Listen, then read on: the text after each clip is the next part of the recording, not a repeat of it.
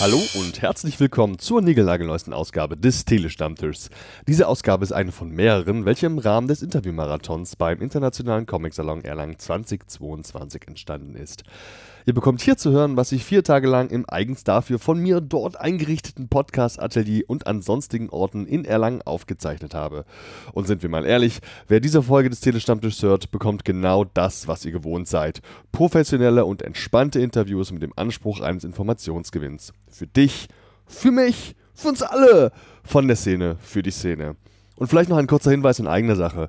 Meine Arbeit beim Salon ist rein privat motiviert. Ich reise auf eigene Kosten an, übernachte auf eigene Kosten und interviewe bzw. moderiere bis zu acht Stunden am Tag nur aus einem einzigen Grund heraus. Ich liebe das Medium Comic und möchte Kreativen daher eine Plattform für ihr Schaffen bieten. Podcasts sind dafür mein Mittel der Wahl und ihr könnt mich buchen. Ihr arbeitet bei einem Verlag, in der Kreativbranche, ihr verkauft etwas oder seid im Marketing tätig, ihr sucht neue Mitarbeitende für euer Unternehmen, oder neue Vereinsmitglieder, dann stünde euch ein eigener Podcast sehr gut zu Gesicht. Wenn ihr mich dazu mit ins Boot holt, wird aus eurem Projekt ein echter Podcast und eurem Erfolg steht nichts mehr im Weg. Meldet euch einfach bei mir, keine Sorge, ich stehe auf der guten Seite der Macht. Aber nun erstmal viel Vergnügen bei den folgenden zahlreichen Interviews. Euer Andi. Der dritte Tag des Comic-Salons in Erlangen ist gestartet und auch die Interviews hier im Podcast Atelier haben erneut begonnen. Es ist wieder schön warm und wir freuen uns mega auf den heutigen Tag und hoffen, dass er mindestens so erfolgreich wird wie die letzten beiden anderen Tage. Wir sind nicht nur ich, wie ihr wisst, sondern auch meine Gästinnen. Und da habe ich heute wieder jemanden am Start. Den kennen unter anderem auch die Zuhörenden der Comic Cookies. Denn wir haben ihr Werk, das es in ersten Seiten schon online gibt, besprochen. Sie hat uns auch schon eine Anmoderation gemacht. Und ich freue mich total, dass sie da ist. Hallo, ich bin der Andi. Und wer bist du? Guten Morgen, ich bin Julia Beutling. Einen wunderschönen guten Morgen wünsche ich dir. Fällt es dir schwer, dich morgens zu motivieren, hier zum Salon aufzustehen? Mm. Also zum Salon generell nicht. Mhm. Prinzipiell morgens schon mal. Ja. äh, aber es ist ja schon was super Besonderes hier zu sein. Nein. Nein. Heute nicht. Sehr gut. Wie läuft es denn für dich? Du bist in Halle C untergekommen, ne? Ich bin in Halle C bei den ganzen Kleinausstellern. Es ist sehr schön, mit ganz vielen Artists zusammenzusitzen, ja. was ich normalerweise ja nicht habe, wenn ich alleine zu Hause in meinem Arbeitszimmer sitze und niemanden sehe. Das heißt, alle sind total aufgekratzt wie die wilden Hühner ja. und schnattern die ganze Zeit. Ähm, aber gleichzeitig müssen wir ja auch mit anderen Leuten reden und deswegen bin ich noch nicht so richtig rumgekommen, um mit allen anderen Artists zu reden. Aber das schaffe ich noch und ich freue mich sehr drauf. Und die anderen Gespräche, die ich führe, sind auch alle toll. Du meintest gerade, das ist ja dein erster Salon. Kennst du die anderen eigentlich alle, die hier so bei dir also, im Zelt mitsitzen? Es ist mein erster Salon als Ausstellerin, mhm. aber ich war schon oft hier als Besucherin, mhm. ich, drei oder vier Mal. Mhm. Äh, und es hat mir, also ich habe es einfach immer sehr, sehr genossen, hier Besucherin ja. zu sein. Ähm, und ich habe mich jetzt einfach das erste Mal getraut, Ausstellerin zu sein. Was ich ein bisschen bedauere, ist natürlich, dass ich nicht so viel mitbekomme vom mhm. Salon. Äh, das ist einfach ein Ort, wo du Dinge hören und sehen und Leute sprechen kannst, die normalerweise wahrscheinlich im ganzen Jahr nicht auftauchen. Ja. Und ja, wenn ich hinterm Stand festsitze, dann ist es halt nur ein bisschen was davon, was ich mitbekomme. Es ist ja auch so viel, gerade wenn du auch die Perspektive des Publikums kennst, das ist doch allein schon so viel Programm, mhm. so viele Ausstellende, so viel Zeug, dass man sich eigentlich alles anschauen möchte. Das ist unabhängig davon, ob du hinterm Tisch sitzt oder als Presse unterwegs bist oder so. Niemand kriegt alles zu sehen, das, das geht gar nicht. Ja, ja, das stimmt. Aber hier sind ja jetzt direkt hier in der Altstadtmarktpassage mhm. sind noch zwei Ausstellungen. Das heißt, wenigstens zwei Ausstellungen kann ich mir vielleicht angucken, wenn die nachher noch rechtzeitig aufmachen. Das machen wir beide sehr toll. Das ist die Jaja-Ausstellung hier vor der Tür von der Annette Köhn und die Jungs von Gang Ho, beziehungsweise ja kuratiert vom Comic Festival München. Und sie gleich gegenüber, Leute, ihr müsst das sehen, das ist, ist echt gut geworden. Es ist jetzt schwierig für euch, weil ihr hört das im besten Fall drei Jahre nachdem es aufgezeichnet wurde. Aber versucht da mal irgendwie an Bilder zu kommen. Macht einfach mal. Liebe Julia, du hast einen Comic gemacht, ne? Ja, habe ich. Und ich habe sogar, glaube ich, das alles, was es davon bis jetzt gibt, gelesen.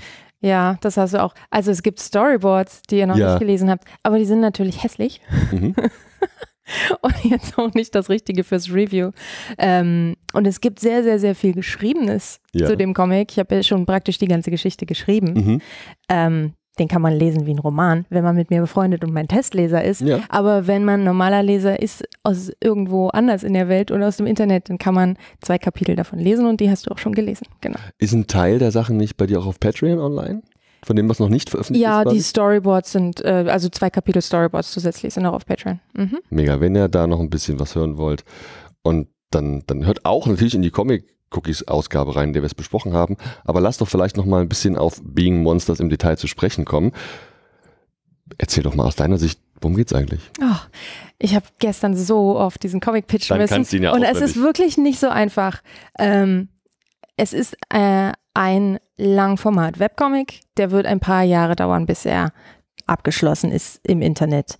Ähm, ich sage das jetzt mal hier, damit es alle wissen und nicht aus den Wolken fallen, wenn ich es ihnen mal sage, ich plane acht Bücher ja, und ich habe die ersten zwei Kapitel fertig. Das ist ungefähr so ein Drittel vom ersten Buch. Ja, toll. es, ist, mhm. es ist einfach unglaublich viel, äh, was daran liegt, dass ich es nicht kürzer erzählen kann. Aber inhaltlich ähm, ist es eine moderne und ganz freie Adaption ja. vom Märchen von der Schöne und dem Biest. Aber nicht unbedingt als Romanze, sondern ähm, es ist halt mehr ein Drama und eine Detektivgeschichte. Ja. Äh, von der Detektivgeschichte hat man noch nicht so viel in den ersten zwei Kapiteln. Das baut sich auf und dann lösen sich kleine Dinge wieder. Äh, und es geht eben um ähm, eine junge Frau, die ist Aktivistin und die äh, strandet in so einem kleinen ähm, 100 Seelendorf, wo sie es überhaupt nicht mag und legt sich dort mit der konservativen Bevölkerung an und aber gleichzeitig verliert sie dort im nahen Wald ihren Hund, der verschwindet ähm, in wie so einer mikrokleinen Mini-Welt, die hinter einer riesigen Rosenhecke liegt, die äh, sie, sonst niemand kennt. Und dort steht ein Schloss und dort mhm. läuft ein Monster rum. Ja. Äh, und um jetzt ihren Hund wieder zurückzubekommen, muss sie da halt jeden Tag hin und sich mit diesem Monster auch noch auseinandersetzen. Das heißt, sie hat zwei Konfliktpole, äh, einmal dort äh, bei dem Monster und einmal in der echten Welt, zwischen denen sie immer hin und her wandert. Mm, die beiden äh, verstricken sich auch irgendwann miteinander ähm, und äh, es äh, gibt ganz viele Entwicklungen mit ganz vielen äh, Characters auf, auf lange Zeit. Ähm, und ähm, es gibt eben einfach auch eine Menge Geheimnisse zu lösen. Also was ist das mit dieser Welt und mit dem Monster? Und es gibt auch Menschen, die dort Geheimnisse hüten. Ähm, und äh, ja, das ist das Setup. Und mehr kann ich auch gar nicht erzählen, sonst komme ich nämlich schon ins Spoiler-Territorium, glaube ich. Das ist auch eine Geschichte, in der steckt wahnsinnig viel drin. Ich kann mir vorstellen, dass da auch noch verschiedene Ebenen dazukommen. Eine Ebene ist ja auch die von dir angesprochene Geschichte, dass sie so ein bisschen die neue mit den neuen möchte sagen, modernen Lebensphilosophien und Einstellungen ist und dann in diese konservative Gegend mhm. reinkommt, wo man ja auch einen gewissen Interessen, beziehungsweise Generationenkonflikt reininterpretieren kann und so. Sind dir solche Themen, so Metathemen, vielleicht damit auch ein bisschen aufklärende Themen, war dir das Anliegen wichtig, sowas zu machen? Mm, also ich habe es jetzt nicht geschrieben als Geschichte, die irgendwie aufklärend ist. Also Claire, meine Heldin, ist Tieraktivistin, was äh, einfach aus meiner eigenen Lebenserfahrung kommt, weil ich halt aus dem Tierschutz und Tierrecht komme. Und es ist nicht einfach, mhm. so zu leben und auch nicht einfach da aktiv zu sein in der Richtung. Es ist so ein unerwünschter Aktivismus, ja. der die Leute auch einfach, den die als Bedrohung auffassen. Das heißt, selbst wenn du nur da bist und ganz passiv bist, wirst du trotzdem als Bedrohung wahrgenommen. Ja. Ähm, äh, schon allein, wenn du sagst, ich bin vegan, ja, ja. dann sind die Leute so, äh, erzähl mir bloß nichts, ich will irgendwie jetzt. Oft der Fall. Das, also du, du wirst praktisch, äh, die Leute reagieren mit Aggression auf dich, nur weil du existierst. Und nur ist aber meine Hauptperson auch eine, die einfach selbst auch sehr explosives Potenzial in sich mhm. trägt und auch aktiv Konflikte provoziert. Ähm, und äh, das ist natürlich schön für Storytelling, ja, weil du einfach äh, viele, viele ähm, interessante ähm, ja, einfach Brandherde überall aufmachen kannst, die dann sofort ja. sich hinlodern und zwischen denen du hin und her springen und interessante Sachen erzählen kannst. Und ich wollte jetzt keine Geschichte darüber machen, ähm, wie man ein guter Aktivistin ist ja. oder ähm, darüber, warum es toll ist, äh, sich für Tierrecht einzusetzen oder so, sondern es ist einfach eine Person, die hat diese Eigenschaft ähm, und sie muss damit umgehen. Und äh, es ist sicherlich besonders gut lesbar für Leute, die diese Lebenserfahrung selber gemacht haben, weil sie sich wiederfinden können. Weil ich natürlich einfach sehr viel aus meinem Leben da reingepackt mhm. habe, so Dinge, in denen ich mich finde oder Dinge in den Situationen, in denen sich Freunde von mir gefunden haben. Ähm, aber das ist eben einfach, es ist halt das Setting. Es ist nicht der, der Kern und noch nicht das, worum es geht. Es gehört einfach zu ihrem, zu ihrem Charakter und zu der Situation, in der wir uns befinden. Aber die Geschichte ist eine andere. Ja, am Ende will ich wirklich am Ende möchte ich wirklich ein Märchen erzählen. und das ist einfach nur die, die Rahmenbedingungen, in der alles spielt. Hm. Die Kapitel, die es schon gibt, die sind ja auch durchaus, also Worldbuilding im weitesten Sinne auch erstmal, wir lernen mhm. die Figuren kennen und ja. so. Und jetzt hast du uns, die Claire heißt sie, glaube ich, deine Protagonistin, mhm. sehr ausgiebig auch beschrieben. Wie lange hast du denn an der rum überlegt? Gerade wenn du mit der acht Bücher und vielleicht noch mit weiteren Figuren acht Bücher erzählen möchtest, das ist ja bestimmt total ausgefleischt. Erzähl mal so ein bisschen auch vielleicht zum, zum kreativen Prozess, zum Erschaffungsprozess. Gab es eine Vorbereitungsphase für Being Monsters? Erzähl mal. Ja, ich äh, glaube, da habt ihr in dem Podcast auch drüber gesprochen. Wie kann sie so lange Vorbereitungsphase gemacht haben? Ich habe ich hab dreieinhalb Jahre Pre-Production gemacht, tatsächlich, bevor ich angefangen habe, die ersten Seiten online zu publishen. Ähm, was daran liegt, dass ich äh, nicht mit dieser Idee schon seit meiner Kindheit irgendwie schwanger gegangen bin, sondern ja. ich habe die einfach gehabt eines Tages und ich dachte, äh, ich mache jetzt was in die Richtung und es hat lange gedauert, bis ich überhaupt eine Geschichte hatte. Da musst du die schreiben, dann musst du die Characters entwickeln, Characters zeichnen, die Locations entwickeln und so weiter und so fort. Ähm, ich muss doch erstmal lernen, wie ich meinen Zeichenstil überhaupt für Comic adaptieren kann. Mhm. Das hat auch ein bisschen gedauert für ja. mich. Ähm, und jetzt Claire, ich wollte halt, dass ähm, die, äh, es ist, also am Anfang merkt man es noch nicht, nicht, noch nicht so richtig, aber es ist wirklich eine Adaption des Märchens. Und du hast in diesem Märchen eine sehr tugendhafte Heldin. Und ich wollte eine tugendhafte Heldin haben. Ich wollte auch endlich mal eine Figur haben, die in diesem Tierrechtskontext lebt, weil ich das sonst nicht sehe in Medien. Mhm. Und ich wusste aber, dass sie nicht perfekt sein darf, sonst äh, sind einfach die Lesenden nicht glücklich mit dieser Figur, die wie so ein Engel dargestellt wird und ja. diesen Aktivismus macht und ist es eine Heldenverehrung oder was. Und deswegen wusste ich, sie muss eine schwierige Person sein. Und es gibt einfach Menschen, die halt mit dieser Situationen, einfach, dass man angefeindet wird und dass man irgendwie ständig Sachen sieht, die einem nicht gefallen, mhm. fallen in der Welt außenrum, die damit nicht gut umgehen und die dann einfach auch aggressiv nach außen gehen. Und ich kenne solche Leute ja. und äh, es tut mir leid für die, dass sie es so schwer haben im Leben, äh, aber ich wollte, dass sie genauso eine Person ist. Und ich habe aber auch damit habe ich angefangen und ich habe aber auch viele andere Figuren in der Geschichte exakt so gestrickt, dass sie halt mit ihr kompatibel sind. Also ich habe jetzt nicht gedacht, doch, das wäre doch lustig, wenn eine Figur so und so ist, sondern ich habe die alle so gebaut, dass sie halt alle gegeneinander schön reiben können. Und du hast jetzt ja gemeint, dass ganz viel schon quasi, wenn man so will, in Buch- und Textform schon fertig ist. Mhm. Also der komplette Arc steht mit den verschiedenen Punkten, die es dazwischen gibt und Ende, Finale, Komplettprogramm, alles am Start. Ja, ich liebe Planen. Mega. Ich habe alles geplant, ja, mhm. tatsächlich. Muss ich aber auch, weil es einfach eine Mystery-Geschichte ist. Ich muss am Anfang Sachen aufsetzen, die dann äh, später ausgezahlt werden. Okay, das ist jetzt sehr englisch gewesen, aber äh, du verstehst, was ich meine. Ja, ich muss mhm. die Sachen aufbauen, sodass es am Ende so einen schönen Aha-Moment gibt. Und äh, ich bin halt immer wieder zum Anfang zurückgegangen und habe immer wieder Sachen umgeschrieben, bis ich dann irgendwann gesagt habe, okay, jetzt wird nichts mehr geändert, jetzt kann ich anfangen zu zeichnen. Mhm. Mhm. Mega. Bin ich gespannt, was da noch auf uns zukommt. Jetzt wird mich ja auch noch vor allem interessieren, du hast jetzt gemeint, acht Bücher, natürlich macht man gleich so ein Mammutprojekt, warum auch nicht acht Bücher, ne? Klar, easy peasy. Aha. Und diese Bücher kommen doch jetzt aber kapitelweise alle online. Erzähl doch mal dazu und deinen Erfahrungen, warum eigentlich online? Warum nicht zum Beispiel auch als, als Leseprobe hätte es auch funktionieren können, zum Beispiel als Pitch für einen Verlag? Wie ist denn da so dein Gedankengang gewesen, das Ganze jetzt hier als Webcomic auch zu präsentieren?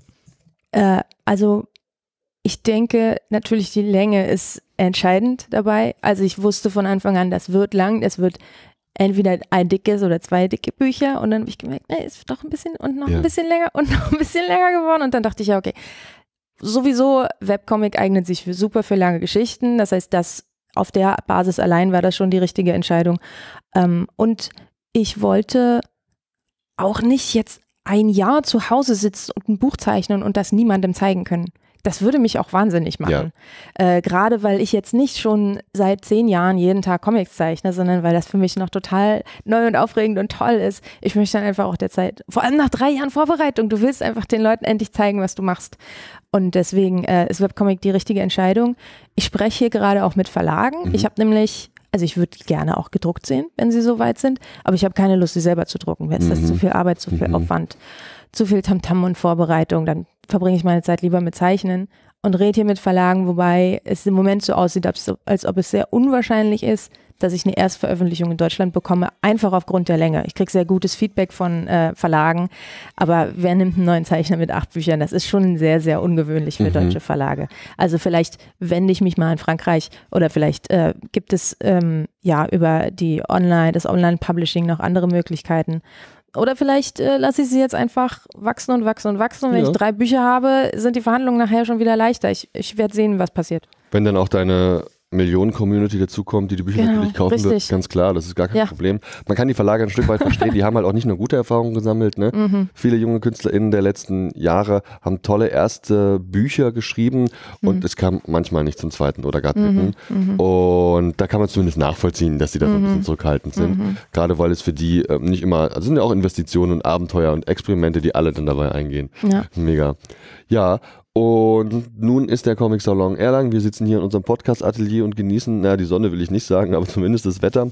Wie ist denn so bis jetzt deine Interaktion auch mit dem Publikum gewesen? Reißen die dir alles aus der Hand? Erzähl mal so ein bisschen deine Eindrücke von diesem Jahr. Wie ging es für dich bis jetzt? Also aus der Hand reisen jetzt nicht. Mhm.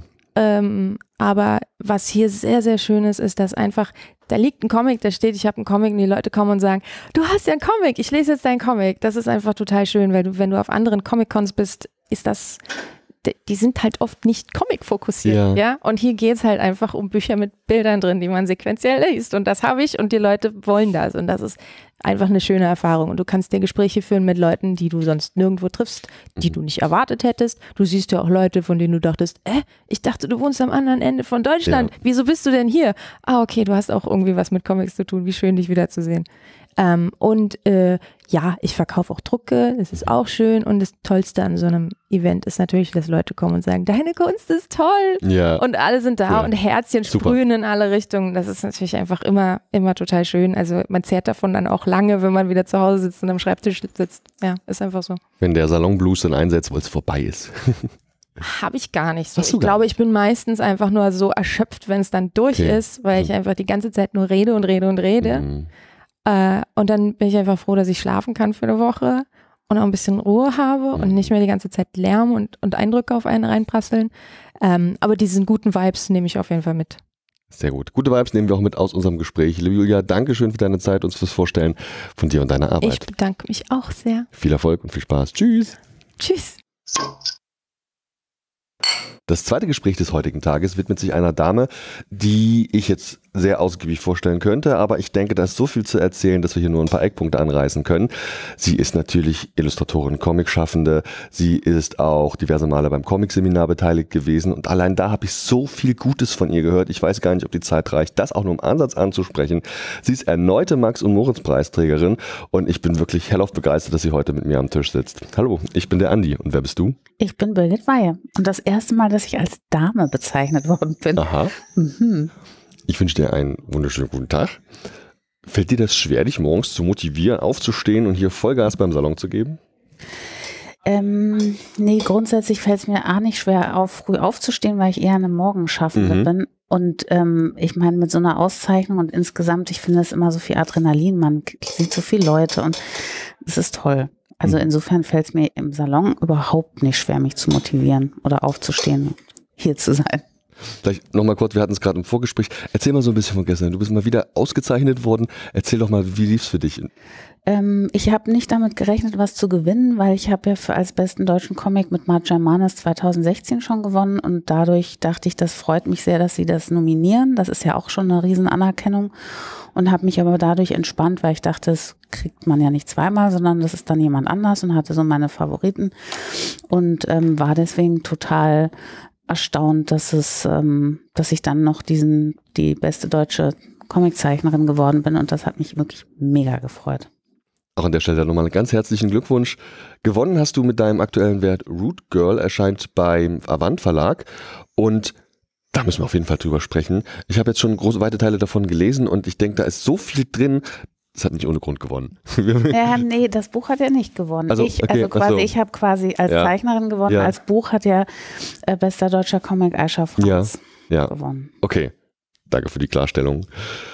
Ja, erzähl mal so ein bisschen, bevor ich das mache und dir irgendwas zusammenstammel. Wie ist denn so der Hintergrund zu Root Girl? Wie kam es dazu? Ähm, ich habe zwei Jahre für den Berliner Tagesspiegel einen Strip gezeichnet und habe dazu immer äh, Persönlichkeiten interviewt oder nicht Persönlichkeiten, Menschen einfach, die viel ihre Orte gewechselt haben und habe in dem Zusammenhang Priscilla Lane kennengelernt, eine Germanistikprofessorin und habe dann zum Abschluss zu ihr gesagt, Mensch, du hast ja so ein Leben gehabt, da kann man ein Buch draus machen und dann meinte sie, ja, mach doch. Mhm. Und dann habe ich mich zu Beginn schwer getan, weil parallel dazu ist mir in den USA kulturelle Aneignung vorgeworfen worden mit meinem Buch Mart Germanis oder insgesamt mit meinen Comics. Und dann dachte ich, äh, dann geht es jetzt gleich weiter, weil sie Afroamerikanerin mhm. ist, dann wie erzähle ich das und lasse ich mir vorschreiben, was ich erzähle. Also mache ich es dann gar nicht erst aus Angst vor diesem Vorwurf und habe dann mich aber entschieden, es zu machen und gleichzeitig aber das zu reflektieren und mit einzubeziehen, so wo sind da Probleme oder auch nicht und habe sie das mal auch kommentieren lassen als Figur, was ich mache. Diese Angst, die muss doch ein riesen Damoklesschwert gewesen sein bei der Erstellung, oder? Zu Beginn ja, aber dadurch, als ich mir dann überlegt habe, ich zeichne einfach immer ein Kapitel und so habe ich es auch komplett chronologisch durchgezogen und schicke ihr das dann und lasse es kommentieren und zeichne diese Kommentare von ihr wieder rein. Und dadurch ist es wie so ein Dialog, hatte ich so plötzlich das Gefühl, ich kann auch Fehler machen und ich kann die auch offenlegen. Also wenn sie sagt, du musst aber Hautfarbe zeichnen, weil Hautfarbe ja. ist was, was uns unterscheidet und worum es hier geht. Wenn du jetzt alle irgendwie farblos lässt, dann tust du ja so, als ob das kein Thema ist. Mhm. Und mach es aber bitte so und nicht so. Und dann, da habe ich, ich habe halt auch wirklich sehr viel gelernt, auch über die politischen Feinheiten in den USA und so. Und hatte das Gefühl, okay, ich mache Fehler und dann kann ich die auch wieder korrigieren und wir sind im Dialog. Und das fände ich, finde ich eigentlich schön. Also weil, mein Gott, wir machen doch alle ständig Fehler oder Dinge verändern Alle Menschen sich. Letztlich, ja. natürlich, ganz klar. Und gerade, dass du sagst, du hattest auch diesen Lernprozess, finde ich so faszinierend. Ähm, bist du eine von eine, eine erfahrene Künstlerin, die halt wie gesagt da auch äh, in der Branche steht und da Erfahrung gemacht hat und wenn man dann plötzlich mit so einem Vorwurf konfrontiert wird, ich glaube, das kann einen auch echt so ein bisschen aus den Socken, aus den Schuhen hauen, kann könnte ich mir vorstellen. Ja, es stellt sich halt bei diesem Vorwurf natürlich auch die Frage, was kann ich dann noch erzählen? Ganz genau. Und wer entscheidet das? Also wer entscheidet darüber, was ich erzählen darf und was nicht? Gleichzeitig finde ich es aber super gut, dass es so Diskussionen auch gibt, weil es verändern sich ja wirklich Perspektiven und wir werden, wir sind diverser aufgestellt und es kommen andere Themen hoch, kann man ja diskutieren. Ich finde nur, dass es wichtig ist, dass wir nicht in so in Schubladen bleiben. Ich mhm. bin eine weiße mittelalte Frau, also kann ich nur weiße mittelalte Themen erzählen und dann wird es ja immer regionaler. Ab, mhm. ab wo kann ich denn noch was beschreiben? Irgendwann ist es nur noch autobiografisch genau. letztlich, ja. Genau. Das ist auch nicht Sinn und Zweck. Nee. Ganz genau. Und vielleicht kannst du ein bisschen so zum Entstehungsprozess erzählen. Also wie du bereits gesagt hattest, wir haben die ähm, Situation mit ihr, deiner Gesprächspartnerin. Ihr, äh, du erzählst, also in den Teilen, die ich jetzt gelesen habe, zum Beispiel auch ihre Kindheitsgeschichte und die Geschichte mit der Mutter, wie so das Zusammenleben und der Alltag ein Stück weit war.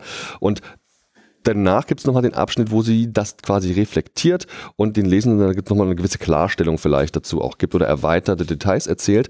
Wie lief das denn ab so im Erstellungsprozess?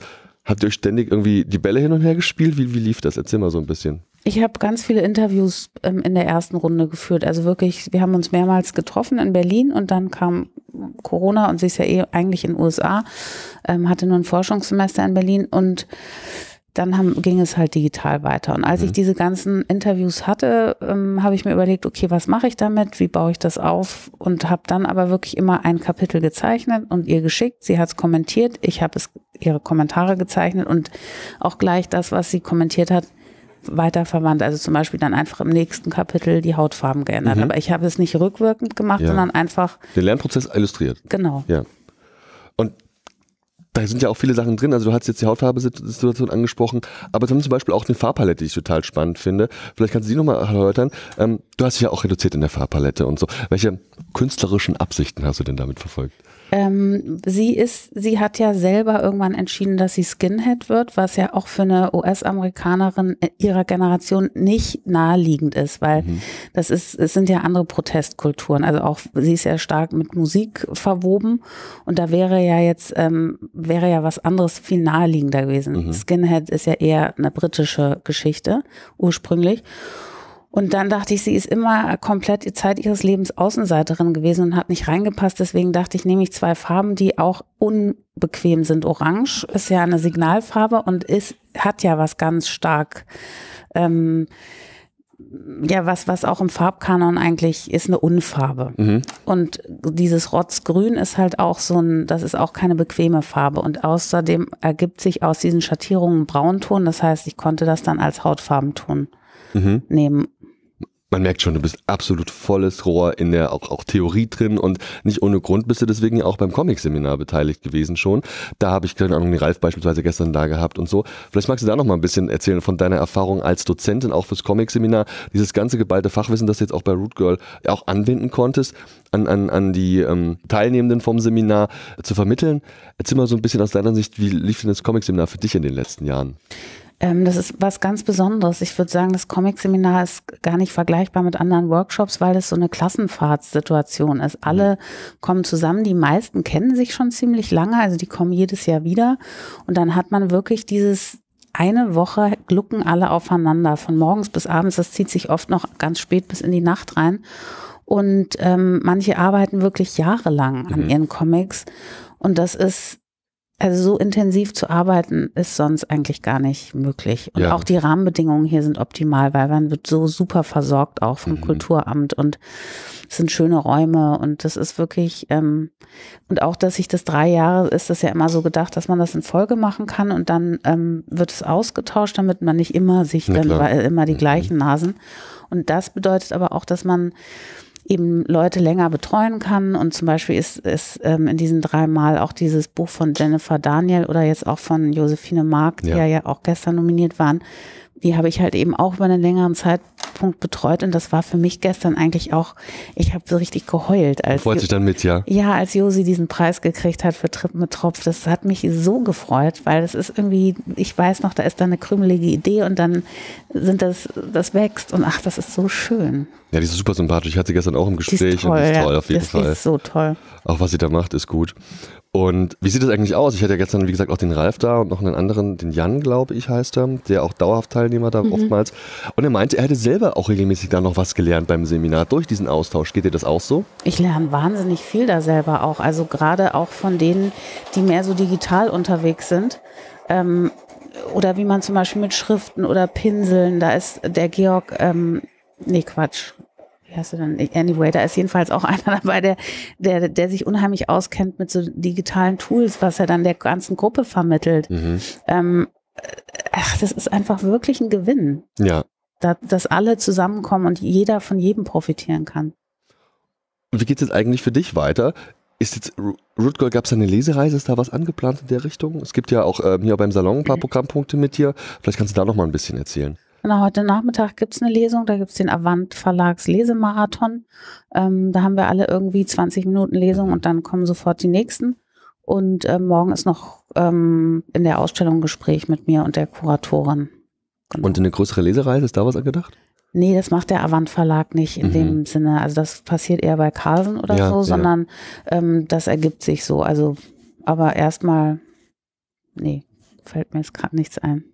Vielleicht magst du auch schon erzählen, dass am Ende unseres Gesprächs, ob es schon weitere Dinge gibt, auf die wir uns äh, freuen können, die vielleicht in ferner Zukunft liegen. Arbeitest du bereits an etwas Neuem? Ja, aber ganz am Anfang, also noch in der Recherche, das geht zur argentinischen Diktatur und das, ähm, da werde ich inzwischen auch schon mal ausgelacht, dass ich immer nur so Heavy-Themen habe, ja. aber ähm, ja, keine Ahnung. Also es ist, ist quasi geschichtlich basiert. Ne? Ja, ich habe ich hab ja, bevor ich Illustration studiert habe, habe ich Magister in Germanistik und Geschichte gemacht und Aha. ich glaube, dadurch ist das, bin ich halt stark mit Literatur und tatsächlich auch wirklich mit historischen Themen und ich glaube, deswegen bin ich so ein bisschen jetzt beim dokumentarischen Comic hängen geblieben, weil es für mich da verbinden sich halt alles. Ich kann eine Geschichte schreiben, recherchieren, dokumentieren, zeichnen. Das ist eigentlich für mich wirklich schön. Und es ist ja auch eine, eine gut laufende, erfolgreiche und auch vor allem sehr interessante, ich weiß nicht, Kategorie des Comics. Da ist so viel möglich und da gibt es so viele tolle Inhalte, auch Möglichkeiten, Inhalte zu vermitteln. Bei Root Girl hat das auch so gut funktioniert. Du hast das Hautfarbenbeispiel genannt. Das ist eine Sensibilisierung, die dann im gleichen Atemzug auch der, auf der optischen Ebene dargestellt wird. Ganz toll. Vielen Dank. Liebe Birgit, vielen, vielen Dank, dass du heute da warst und über dich und deine Arbeit gesprochen hast. Nochmal ganz großen äh, Glückwunsch und auch für, für, für, nochmal für die Auszeichnung. Ich wünsche noch viel Spaß und vor allem Erfolg hier beim Salon. Danke, danke für die Einladung. Tschüss. Ciao. Im nächsten Gespräch unterhalte ich mich mit einem jungen Mann, der auch ganz aktuell natürlich wieder einen Comic draußen hat. Er ist Illustrator. Er ist, glaube ich, im weitesten Sinne hier aus der Gegend. Das müssen wir gleich nochmal klären, ob er so eine Art Einheimischer ist oder auch nicht. Ob man das bei den verschiedenen großen Regionen in Bayern überhaupt sagen darf, ohne dass man Schläge kassiert. Ich krieg's gleich raus. Und außerdem glaube ich, dass die Comics, die er produziert, zuletzt irgendwie einen Frauenfokus hatten. Mal gucken, über was wir gleich reden werden. Hallo, ich bin der Andi. Und wer bist du? Hey, ich bin Max. Guten Tag, Max. Wie sieht's aus? Bist du heute Morgen gut aus dem Bett gekommen? Musst du dich motivieren, morgens aufzustehen oder geht's? Ah, nee, nee, nee, ich komme ganz gut raus, eigentlich. Also Aha. ich habe meine Familie dabei, mein Sohn ist ein bisschen früh aufgewacht, so um sieben. Ah. Da dachte ich so ein bisschen, ach, da hätte man noch eine Stunde äh, dranhängen können. Aber ich freue mich hier. Mega. Und stimmt das, dass du hier, du bist aus Bayern, so viel weiß ich, ne? Ich bin aus Bayern, ja, genau genommen aus Penzberg, das ist in der Nähe von Bad Tölz. Ja. Das kennt man aus dieser Fernsehserie. Mhm. Und äh, habe auch in Garmisch-Partenkirchen gewohnt.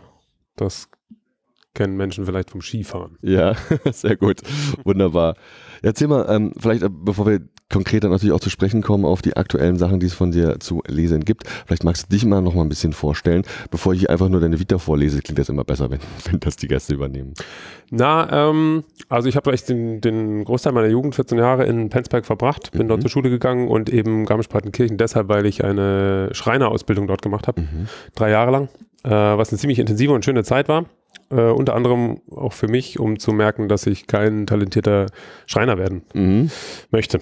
Und äh, genau, gleichzeitig habe ich mich da äh, so langsam so ein bisschen auf so eine äh, Bewerbung für die Kunsthochschule fokussiert und dann eben Illustration in Leipzig studiert. Mhm.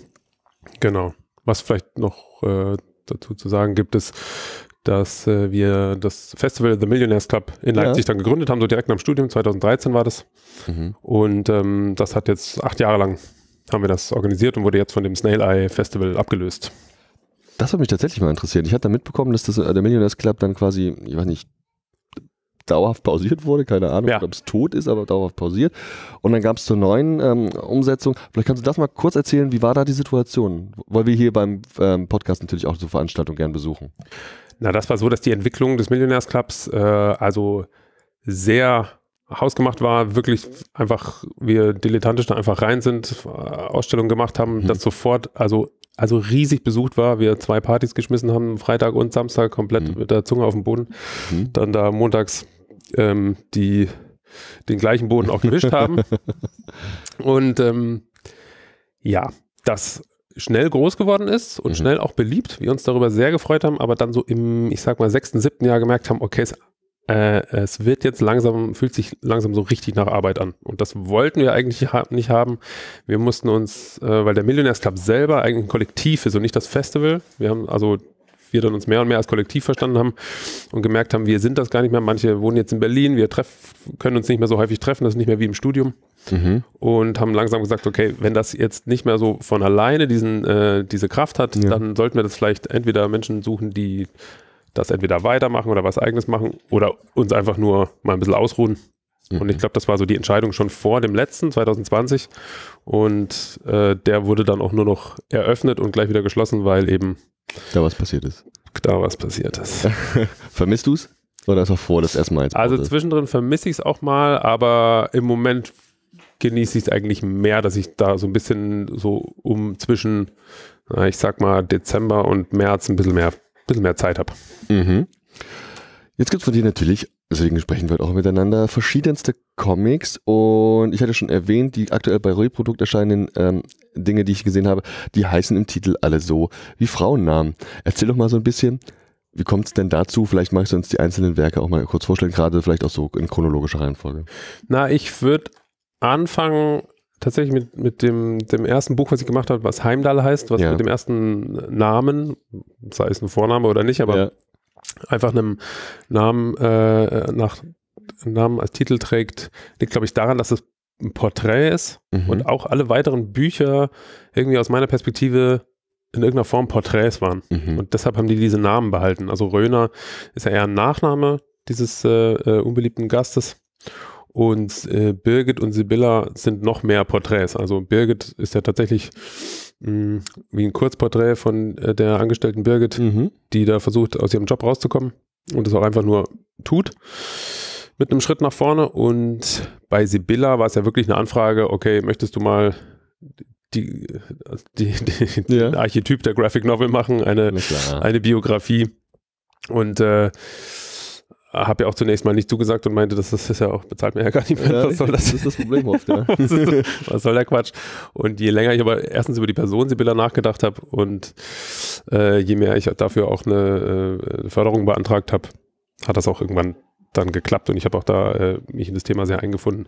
und muss auch sagen, ich war tatsächlich fasziniert dann von dieser Person. Mhm. Und sogar dann auch von ihrer Arbeit, auch wenn ich mit Barocklyrik so, so gar nichts anfangen konnte.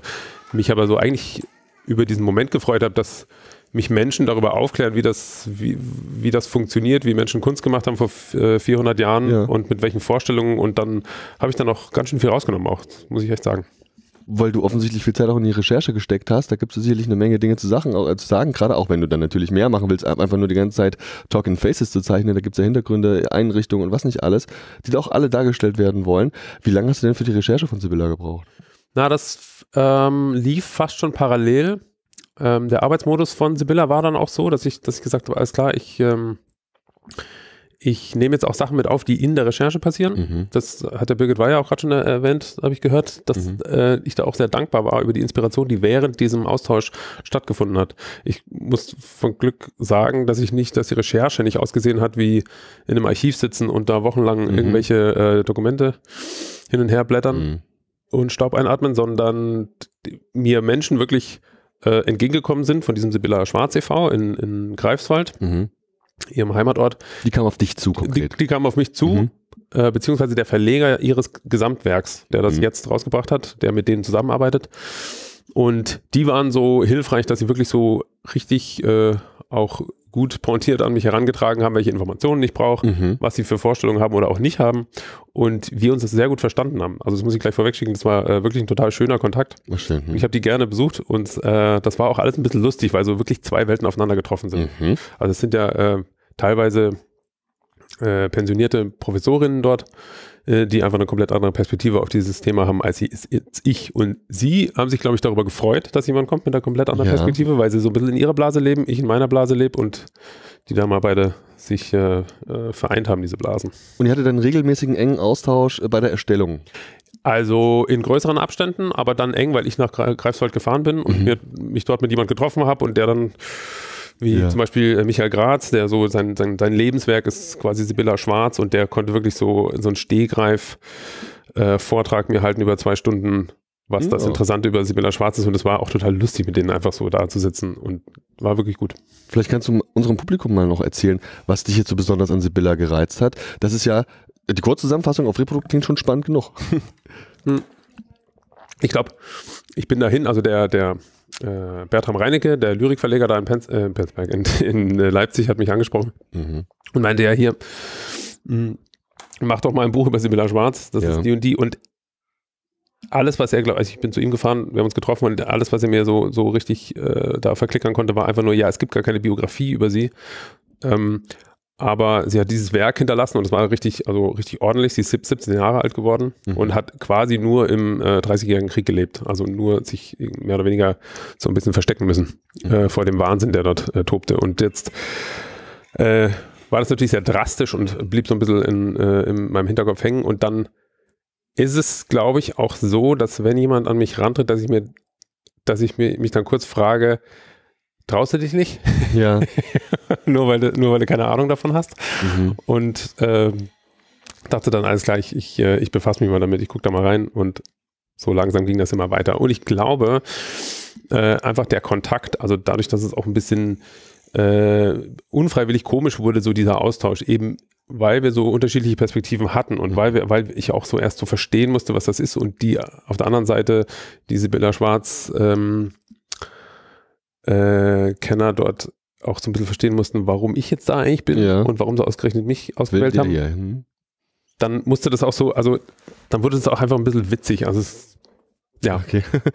Aber du hast ja gerade gesagt, sie ist im wahrsten Sinne des Wortes ein Kind ihrer Zeit gewesen, die Sibylla. Und wenn man dann auch diese krassen Verhältnisse, die du gerade angesprochen hattest, mal im Hinterkopf hat und dann sich auch anschaut, was ihr Werk dann für Inhalte hat, gibt es auch helle und leichte Momente in deinem Buch? Ja, natürlich, auf jeden Fall. Also ich meine, das ist ja, ich glaube, ich bin da schon ran mit der, äh, mit der Vorstellung, helle Momente in ihr Leben zu bringen, mhm. äh, welches für mich ja erstmal sehr düster aussieht aus der Entfernung. Aber ja. aus ihrem Werk heraus würde ich jetzt mal äh, behaupten, sprechen jetzt nicht nur die dunklen Momente, sondern sie hat ja in ihrer Lyrik da auch äh, viel fröhliche Sachen mhm. verarbeitet und genauso helle und dunkle Momente. Und ähm, ähnlich ist es mit meinen eigenen Arbeiten, glaube ich, auch, dass ich das, also dass das äh, wichtig ist, dass die einfach nebeneinander, ja, nebeneinander stehen. Diese, also damit konnte ich mich zum Beispiel dann in ihrem Werk auch sehr identifizieren. Dass Was, das beides zusammengehört, einfach um auch einen gewissen Kontrast oder Rhythmus zu bilden. Mhm.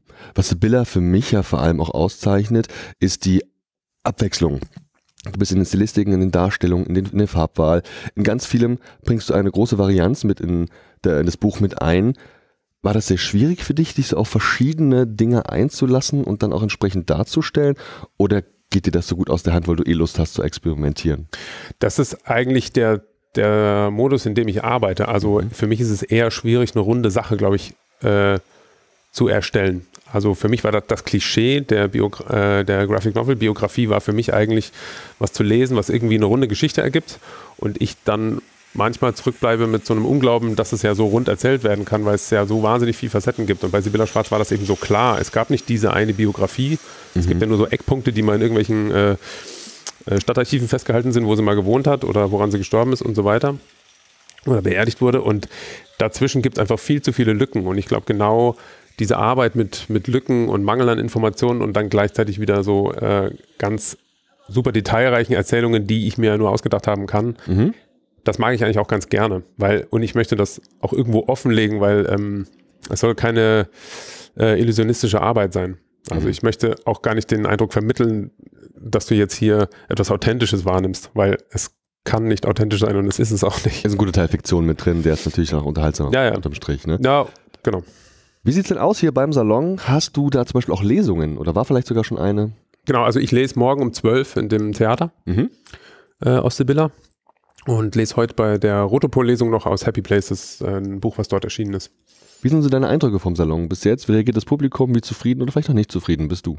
Ähm, ich war eigentlich sehr zufrieden, weil ich habe mich gefreut. Ich bin beim Sohn gestern hier angekommen mittags und wir haben uns da eine gute Zeit gemacht. Äh, Kinderbücher uns angeschaut. Ich hatte ein paar Signierstunden, da saß er irgendwie auf meinem Schoß und hat Bücher angeguckt und toll. ich habe signiert. Das war eigentlich ein ziemlicher äh, Traumzustand in dem Moment. Alle wollen zu Papa und wollen was von dem. ja, also zumindest ein paar wollten zu Papa und wollten was von ihm. Papa ist ein Star. ja, schön, mega. Mensch, Max, vielleicht noch eine Frage zum Schluss. Gibt es schon was, was du anteasen kannst, woran du demnächst mal arbeiten willst? Gibt es schon eine weitere Person, die du faszinierend genug findest, ihr einen Comic zu widmen? Na, ich bin quasi schon mittendrin. Das äh, ist eine Serie, die für den Kreuzer in Leipzig macht, das Stadtmagazin. Mhm. Und das ist eigentlich, äh, es ist ein Buch, mhm. dessen Manuskript ich schon ja, jahrelang in der Schublade hatte, was ich jetzt umsetze. Das sind zwei äh, alte Schulfreunde, die jemanden, also ihren Kumpel suchen in Leipzig. Ja. Und das ist ein bisschen auch diese diese Geschichte nach Leipzig zu kommen, dort anzukommen, äh, nicht so wie ich sie äh, selber eins zu eins erlebt habe, aber unter anderem, was ich dort erlebt habe. Und das hat ganz gut ins Stadtmagazin gepasst und gleichzeitig äh, sind das immer vier Seiten aus dem Buch und am Ende wird sich das auf jeden Fall zu einem Buch zusammenschließen. Klingt faszinierend. Ich bin gespannt. Lieber Max, vielen, vielen Dank, dass du heute da warst und ein bisschen über dich und deine Arbeit gesprochen hast. Ich wünsche vor allem noch viel Spaß und im besten Fall auch Erfolg hier beim ja, Salon. Danke dir. Tschüss. Dank. Ciao. Unser nächstes Gespräch widmet sich einer Dame, die auch was veröffentlicht beim Avant Verlag.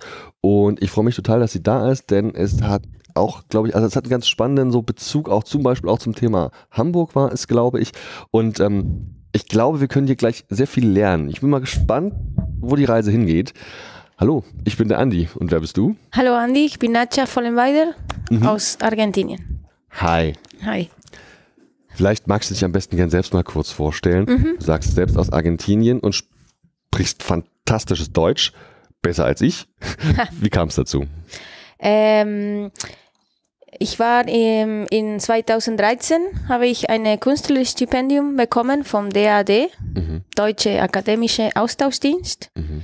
Ich wollte unbedingt hier studieren, aber davor habe ich Birgit Baye kennengelernt mhm. in Cordoba, Argentinien. Die, war, die wurde vom Goethe-Institut eingeladen äh, für einen Workshop. Und so bin ich zum den deutschen Comics gestoßen, weil die, die sind nicht so bekannt. Ja. Und äh, im Vergleich zu Italien, Frankreich oder Klar, Nordamerika. Ja. ja.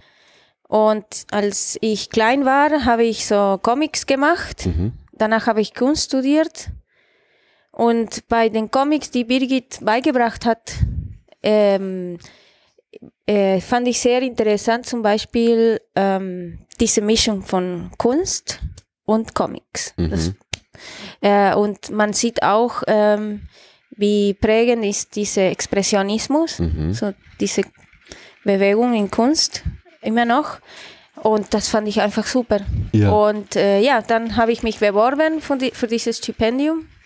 Äh, Birgit hat auch ähm, äh, mich mit Anke Feuchtenberger kontaktiert, mhm, ja. weil für diese Stipendien ist es wirklich schwierig, ähm, einen Professor oder eine Professorin zu finden, die dein Projekt betreuen möchte. Da ist die Anke herausragend, ne? Die, sie macht ja so viel in dem Bereich, das ist ja ihr Ding. Ja, und so, Deutsch. Dann, ich konnte kein Wort Deutsch, habe ich zwei Semester in dem Goethe-Institut in Cordoba gemacht. Oh, natürlich hatte ich wirklich kein Gefühl für diese Sprache. Und dann habe ich es hier gelernt. Nochmal für mich. Du saßt in Argentinien, hast gesehen, oh, es gibt nicht so viele bekannte deutsche Comics. Fahre ich mal nach Deutschland, lerne Deutsch und studiere da? Das war dein Ansatz? Ja. Mega geil. Mega geil. Gibt es denn, gibt's denn so viele bekannte, keine Ahnung, litauische Comics? Hätte man auch nach Litauen gehen können? Finde ich ja faszinierend. Ganz toll. Ja, und dann warst du plötzlich da, hast studiert und hast deine, äh, deine, deine Werke, deine Comics auch geschaffen. Vielleicht erzählen wir mal ein bisschen, worum es eigentlich geht. Du hast jetzt bei Avant auch was rausgehauen. Lass doch mal so ein bisschen die, die beiden Sachen, die da jetzt auch erschienen sind, äh, mal besprechen. Was gibt es denn aktuell von dir beim Avant Verlag zu kaufen? Äh, das neue Buch heißt Zurück in die Heimat. Ja.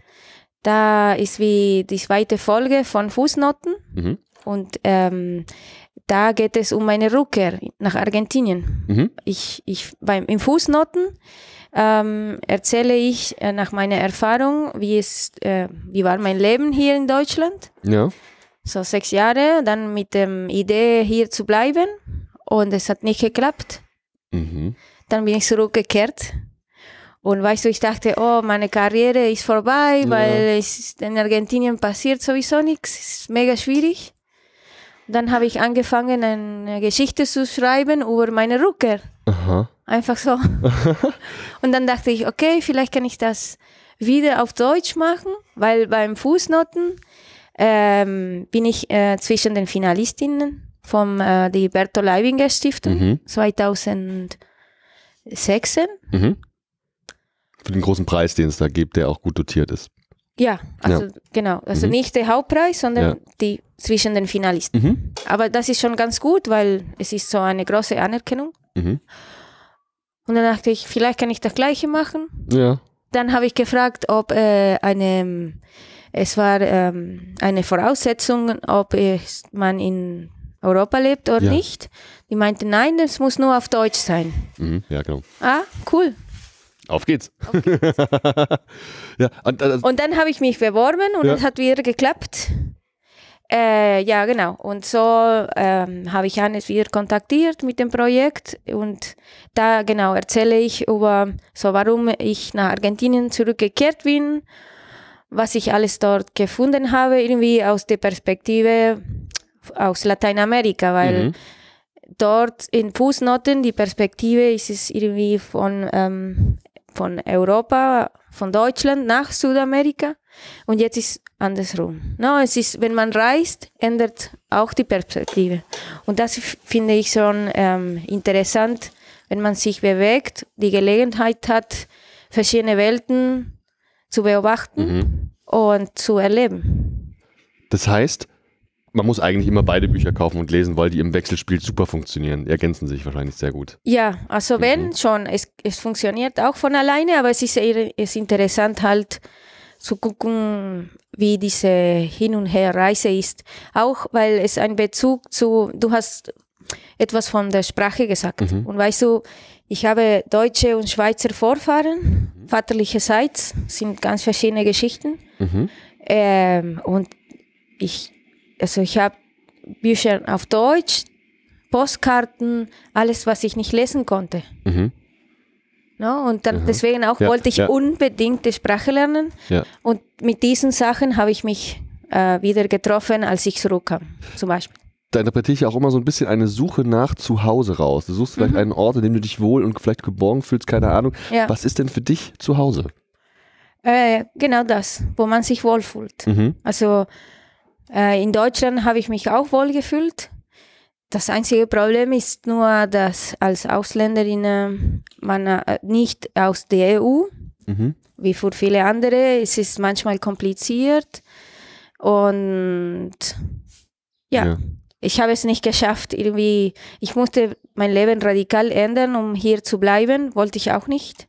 Mhm. Dann hatte ich einige Euros gespart und ich dachte, okay, dann wie lange kann ich, kann ich mit diesem Euros leben? Äh, ja. Ein Jahr Aha. ungefähr. Dann habe ich Zeit, etwas zu machen. Hast du dein Zuhause inzwischen gefunden? Ja. Fühlt sich wohl, wo du bist? Ja, ja. Und ich, weißt du, ich, ich komme lieber halt nach Europa zu Besuch. Weißt du, in bei uns, für uns, wir brauchen keine Visum, nach Europa zu kommen, äh, für drei Monate. Mhm. Ja, und dann kann ich hier mal ab und zu zu Besuch kommen, ganz frei. Beim Wandverlag vorbeischauen. Beim Wandverlag vorbeischauen, ja. Buch machen. Äh, als Künstlerin mal ab und zu so. Aber wieder leben, ja, ja. Ich, ich, bin nicht sicher. Ich glaube, es war ein bisschen hart mhm. und ich, darauf habe ich keine Lust. Mhm. Mhm. Aber wohl habe ich mich schon gefühlt. Und jetzt, dass ich wieder bin, nach vier Jahren wegen der Pandemie, es fühlt sich total gut an, auch weil es Sommer ist. Vielleicht auch fürs Publikum, das deine Graphic Novels nicht kennt, mhm. geht es da mehr thematisch so um deine eigene, ich möchte sagen, eben Sinnsuche, Wurzeln suchen mhm. und ähm, solche Themen? Oder und, keine Ahnung, geht es da vielleicht auch darum, dass du die Länder so ein bisschen vergleichst und Eigenheiten, mhm. gesellschaftliche spezielle Sachen? Geht es da auch darum, was sind so diese Themen, die du in den, in den Sachen abdeckst? Ja, genau. Also es geht um die Suche nach Identität weil wenn man ähm, sich, ähm, wenn man auswandert, mhm. entfremdet sich alle. Mhm. Und irgendwie man sucht, was es bekannt ist. Ja. In diesem fremden Ort. Mhm. Und ähm, ja, genau. Und dann ähm, nach diesen Beobachtungen beobachte ich auch so Entwicklungen von den Gesellschaften, die mhm. auch zum meine Geschichte gehören, aber auch so äh, die europäische Geschichte gehören. Zum Beispiel, genau, so wie, zum Beispiel meine, ähm, äh, meine Familiengeschichte, diese Migrationsgeschichte mhm. nach Lateinamerika. Ja. Ähm, aber auch als zum Beispiel diese Kolonialgeschichte. Ne? Mhm. Und, man, ähm, man, und man sieht auch, wie diese ähm, heutzutage auch sich widerspiegelt. Ne? Mhm. Nach viele, was passiert halt.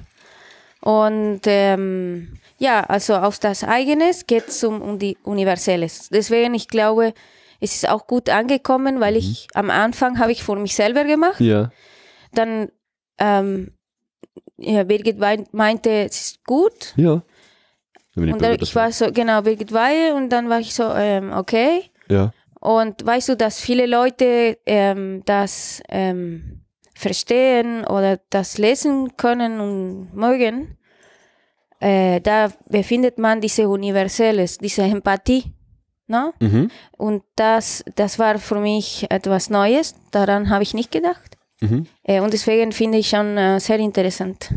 Wenn man blättert durch zum Beispiel auch zurück in die Heimat, dann sieht man ganz viele so wie so beobachtende Panels. Wir sehen mhm. Stadtsettings, wir sehen aber auch mal ein bisschen Landsetting. Das sind so, ja, wirklich so beobachtende, die Atmosphäre prägende Panels. Wie hast du das gemacht? Hast du dir ständig Vorlagen gehabt? Ist das alles in deinem Kopf entstanden? Wie, wie, wie hast du da, wie bist du rangegangen an diese, an diese Panels, an, generell an den Comic? Ja, also generell, wie gesagt, ähm, ich bin eine Beobachterin mhm. und ähm, irgendwie diese die Ich-Perspektive äh, kann man kann ich auch so zeigen, mhm. von was ich also die Hauptfigur ist, sind meine Beobachtungen. Und ich habe immer so Fotos, ich mache Fotos, mhm. wenn ich ähm, reise, ich mache viele Fotos. Und manchmal, weißt du, mit den Gedanken kannst du diese Fotos auch irgendwie zusammenbringen. Ja.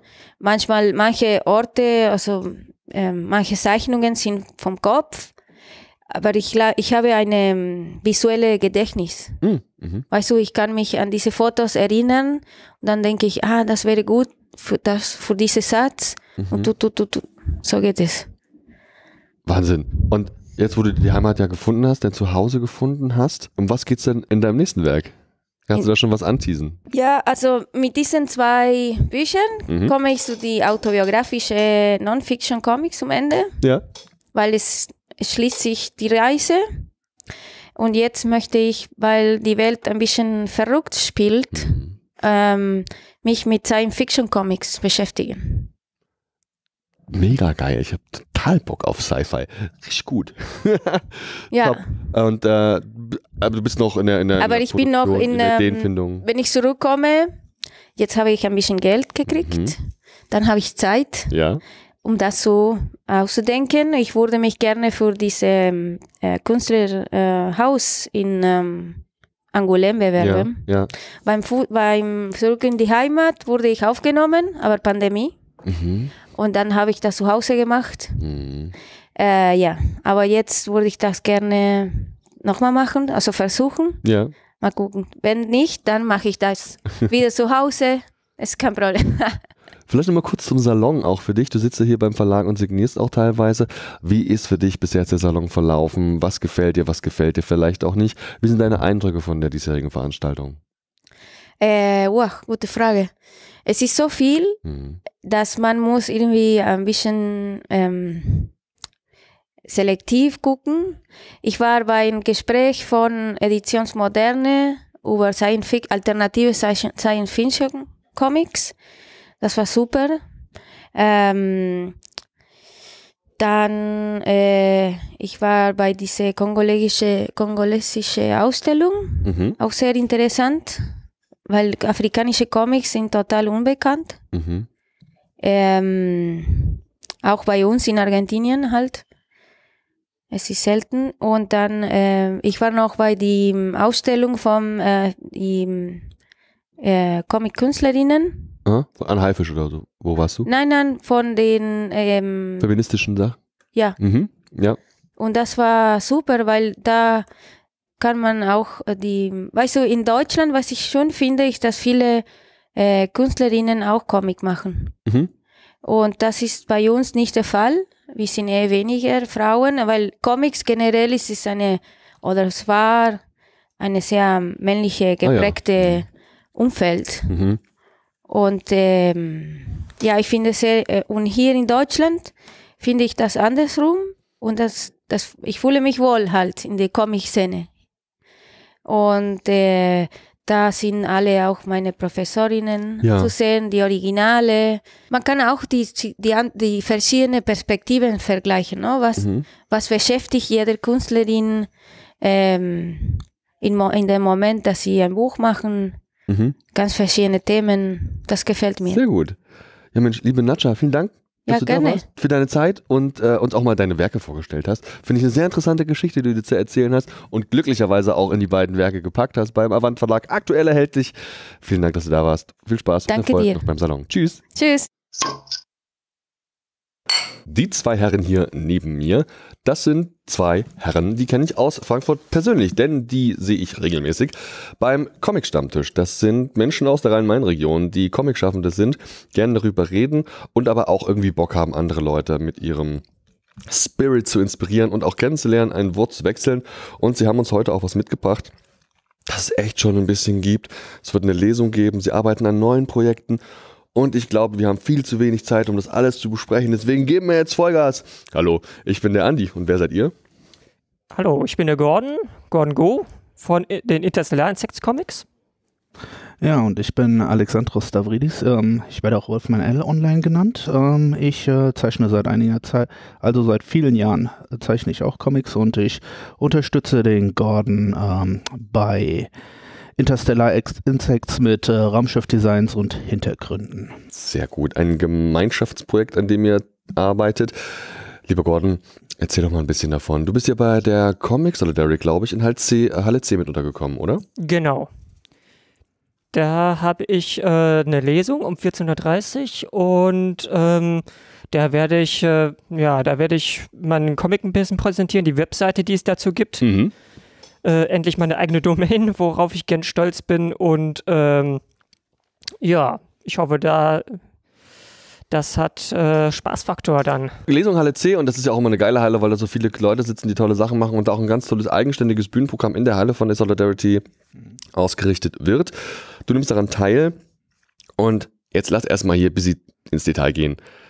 Interstellar Insects, also ich kenn's, aber vielleicht wollt ihr nochmal unseren Hörenden beschreiben, worum es eigentlich geht. Ja, ich versuche das mal wirklich in, einem, in ein paar kurzen Sätzen zusammenzufassen. Äh, das ist wie Star Trek mit Insekten mhm. und mit dem Hintergedanken, äh, also mit den zwei Hintergedanken. Erstens wollten wir einfach mal was für eine jüngere Altersziel, äh, äh Alterszielgruppe haben. Äh, zwischen 8 und 14 Jahren ist das äh, gedacht, ähm, so dieses äh, Niveau, dass es für die geeignet ist, aber es lesen dann natürlich auch Ältere. Mhm. Und äh, der zweite ist äh, dass ich ähm, halt, halt auch etwas machen wollte, in dem Insekten äh, anders rüberkommen in einem Science Fiction, als es normalerweise Starship Troopers mäßig äh, mhm. üblich wäre. Ja. Also nicht so diese typischen äh, 0850, ja, das, das sind Invasoren, die br bringen die ganze Menschheit um, äh, die wollen die Menschheit vernichten. Ja. Nee, die sind dann halt wirklich, sage ich mal, vermenschlicht. Die, die üblichen Weltraummonster. Genau. Ja, faszinierend. Warum eigentlich gerade Insekten und nicht Katzen?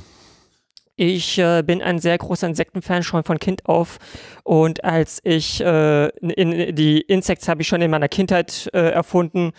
Da äh, ich war damals schon ein großer Star Trek Fan, mhm. Äh, größerer Star Trek Fan als Star Wars Fan. Oh je, jetzt mache ich mir wahrscheinlich Feinde.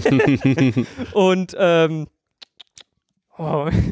Äh, nun, naja, ähm, ich habe äh, mir die damals aus, äh, ausgedacht, um äh, Geschichten zu erfinden, wie äh, Insekten dann quasi auf einem äh, Wüstenplaneten, wahrscheinlich habe ich damals zu viel Dune gespielt, ähm, dass die dann halt ihren Planeten verteidigen und dann halt auch das Weltraum erforschen und dann, dass äh, eine eigene Ra äh, Raumschiff-Crew ist. Ja. Und äh, das waren damals aber alles Kerle, weil ich damals halt auch noch mit alten Hollywood-Filmen mhm. und äh, Hollywood-Film-Klischees äh, aufgewachsen bin.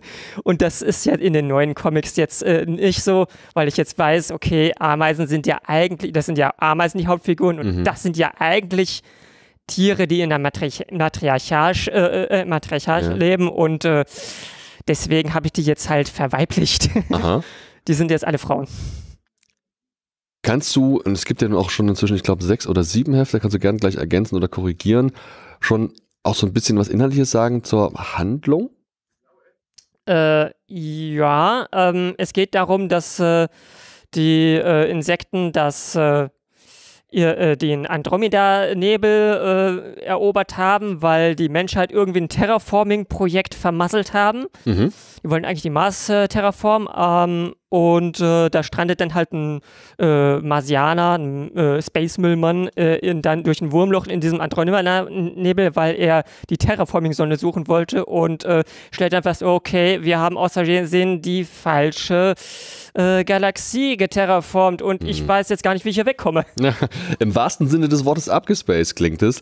Und Jetzt muss man ja mal ganz ehrlich sagen, ich bin hier in diesem Gespräch nicht ganz voreingenommen und auch der Patrick, der hier heute im Publikum sitzt von den Comic Cookies, wir haben ja so einen ganz besonderen Draht zur Serie. Welcher ist das denn? Ja, ähm, wir haben, äh, das, das ist halt äh, so äh, ein kleiner Trend geworden. Äh, ab der Episode 3 war das, äh, also Ausgabe 2 ist das dann. Da werdet ihr durchblicken, wenn ihr, äh, wenn ihr euch durch die Comics durchlässt. Da äh, nehmen wir äh, Personen aus dem realen Leben, Comiczeichner, Podcaster äh, und Leute aus dem äh, Rhein-Main-Comic-Stammtisch und äh, machen aus denen insektifizierte Comicfiguren mhm. und integrieren die dann einfach in die Story ein. Und das ist echt witzig, weil äh, wir, weil dann die, sich die Charaktere mehr in die Story äh, integrieren, als das ursprünglich gedacht war. Denn eigentlich sollten das nur Hintergrundcharaktere werden. Zack, bist du drin. genau. Eine Ausnahme bin ich. Ähm, mein äh, Fo Fotos von meinem Mund und meinem Schnauzbart sind sozusagen der Avatar von dem Schiffscomputer von Dimitri, dem äh, Screeny. Genau. Also quasi ein Cameo in deiner eigenen ja, Serie. Ja, sozusagen, sozusagen, ja. Ja, Mensch, mega. Wie ist denn der aktuelle Stand der Reihe und wie geht's weiter? Ja, wir also momentan arbeiten wir an den neuen Episoden. Äh, geplant ist, äh, dass wir die Episoden äh, 9 bis 17, äh, 1 bis 8 sind schon veröffentlicht und wir arbeiten jetzt gerade, man kann das auch äh, auf der Webseite äh, nachlesen, wie weit wir da sind in, dem, in der Comic-Unterseite. da muss man runterscrollen und da sieht man den, Verla äh, den äh, Arbeitsverlauf sodass wir die Leser immer informieren, okay, wir sind jetzt so und so viele Prozent damit äh, mhm. weit. Und äh, geplant sind äh, Episode 9 bis 17 und wir sind gerade bei Episode 11 und wir äh, machen auch noch Spin-Off-Comics. Und das Ganze kann man euch natürlich abkaufen, unter anderem auch hier. Ich weiß, dass du ein paar Hefte hier mit dabei hast beim Salon, die, wo du auch dann ja auch am Stand der Comic Solidarity mit sitzen wirst. Und es gibt auch die Möglichkeit, das Ganze, und das muss man echt auch mal positiv erwähnen, einfach komplett kostenfrei online zu lesen, richtig? Genau. Äh, wir wollten ja auch, das ist eigentlich der dritte Hintergedanke, wir wollten einfach äh, nachdem äh, das als Experiment bereits gelungen ist, äh, wollten wir das einfach weiterführen und äh, haben uns gedacht, okay, äh, wir müssen das auf irgendeine Art und Weise veröffentlichen auf der Webseite. Äh, das mit dem Shop war mir ein bisschen zu kompliziert, also habe ich mir gedacht, okay, dann mach's halt unkommerziell und auf der Webseite machen wir das dann halt einfach geben wir das einfach gratis, weil wir einfach äh, möglichst viele Leser erreichen wollen. Und wir bekommen durch die Mundpropaganda dadurch auch viel mehr Feedback, als wenn wir dann irgendwie äh, verzweifelt versuchen, ähm, etwas auf den Social Media Kanälen, bei denen ich durch die äh, ganzen Algorithmen gar nicht durchblicke, wie mhm. ich da, mich da verhalten mhm. soll. Äh, und ähm, äh, ja, äh, überspringt das dann halt einfach, macht das kostenlos und äh, habt den ganzen Stress nicht und äh, so läuft das viel flüssiger. Das ist der Weg, den andere auch einschlagen, das Ganze kostenfrei zur Verfügung zu stellen, um dann möglichst breites Publikum zu erreichen. Denn mhm. das bedeutet nicht, dass die es dann nicht auch nochmal kaufen würden. Die so kommen bei der Veranstaltung vorbei und wollen deine Signatur und natürlich nehmen die deine Hefte dann noch mit. Das ist richtig, genau. genau. Alexandros, du bist ja auch, wo wir es gerade hatten, auch ähm, Signaturenjäger und Zeichner und du bist ja auch absoluter Comic-Fan. Vielleicht erzählst du mal auch so ein bisschen von dir. Du bist ja auch als Künstler unterwegs. Machen wir erstmal die Künstlerschiene. Gibt's wie ist es denn jetzt diese Zusammenarbeit mit Gordon? Du hast gemeint, dass du, ich glaube, für Hintergrund und Effekte zuständig bist aktuell. Richtig. Wie sieht es denn im Alltäglichen aus mit der Zusammenarbeit von euch beiden? Ja gut, ähm, in erster Linie sagt mir der Gordon, was er für eine Episode braucht. Wofür er jetzt zum Beispiel für ähm, für die nächste Episode zum Beispiel ähm, ein Gebäude mhm. oder den Innenraum eines Gebäudes, ähm, ein bestimmtes Zimmer, ähm, bestimmte Fahrzeuge, die er braucht. Ja. Also sagen wir mal zum Beispiel einen Geländewagen oder einen äh, Raumjäger, irgendetwas in, in der Richtung, ähm, was er da benötigt. Und ähm, dann setze ich mich erstmal hin und ähm, mache ein, zwei Entwürfe. Und die gucken wir uns dann zusammen an. Mhm. Und äh, ja, dann ähm, entscheiden wir, was geht, was nicht geht, was nicht funktioniert, wie wir, wie wir das Ganze weiterentwickeln, ähm, in welche Richtung wir gehen können. Manchmal haben wir dann auch spontan ähm, irgendwelche witzigen Ideen. Ähm, ja, ich möchte jetzt nicht zu viel verraten für, für die le äh, letzte Episode, wo wir gearbeitet haben. Da gab es zum Beispiel eine Raumschlacht mhm. und ähm, da haben wir aufgrund der Gegner mhm. eine witzige Idee bezüglich ja. der Waffensysteme gehabt und äh, ja. Ihr, ihr, trefft euch dann regelmäßig, sitzt zusammen, alles online oder macht es beim Stammtisch? Wie läuft denn das praktisch ab? So, sowohl als auch, sowohl als auch. Also wir treffen uns äh, beim Stammtisch, wir treffen uns so ähm, mal. Wir äh, kommunizieren über, äh, über äh, Telegram und äh, Skype. Also das ist, ähm, da gibt es verschiedene Möglichkeiten. Sehr gut. Gibt es auch Sachen, die nur von dir stammen? Äh, wie gesagt, das ist in erster Linie Gordons Baby, dieser Comic. Also ähm, ich gebe dann, ähm, wenn, wenn wir manchmal besprechen wir also zum Beispiel Stories und ich, ich, ich gebe Gordon dann zum Beispiel Feedback, was ich zum Beispiel jetzt nicht so gut finde, was ich jetzt ein bisschen sehr klischeehaft finde. Ähm, manchmal muss es auch klischeehaft sein, weil es ja auch im Grunde genommen eine Parodie ist. Mhm. Ähm, aber äh, wie gesagt, also ich ähm, sehe mich da in erster erster Linie, erster Linie als Minion, als Handlanger. Und unabhängig von Interstellar Insects, gibt es da Sachen von dir? Äh, ja, in der Tat. Ähm, ich zeichne verschiedene, ich zeichne hauptsächlich Fanart und ähm, ähm, sehr, sehr viel Furry Art natürlich und mhm. ähm, Natürlich Furry Art, klar. natürlich, natürlich. Äh, Wie man nee, das halt so macht. Nein, ich ähm, bin, bin da in der Richtung äh, unterwegs. Ähm, und ähm, ich habe da ein eigenes Comic-Projekt im Moment, ähm, das heißt, äh, das nenne ich Small Gods, also kleine Götter. Da geht es äh, um äh, Anubis, Bastet und Sekhmet, die nach äh, 2000 Jahren Schlaf äh, in der heutigen Zeit aufwachen und sich sozusagen zurechtfinden müssen. Mhm. Kann man das schon irgendwo lesen oder ist es auch in der Das Entstehung? kann man auf verschiedenen Galerien von mir lesen. Also Mhm. es ist äh, noch nicht veröffentlicht sozusagen im breiten Sinne, auch nicht als Online-Comic, aber ich habe jetzt so verschiedene kleinere Comics dazu gemacht, ähm, verschiedene kleinere Szenen und ähm, auch einzelne Artworks und ähm, ja, das ist äh, Alles klar. das ist so das, das größte Projekt in Anführungsstrichen, an dem ich momentan arbeite. Ah, Oh, abgesehen von Interstellar Insects natürlich. Und Gordon, du wirst Interstellar, Interstellar Insects im Rahmen auch einer Lesung hier vorstellen. Auf was können wir uns da freuen? Vielleicht kannst du mal ein bisschen erzählen.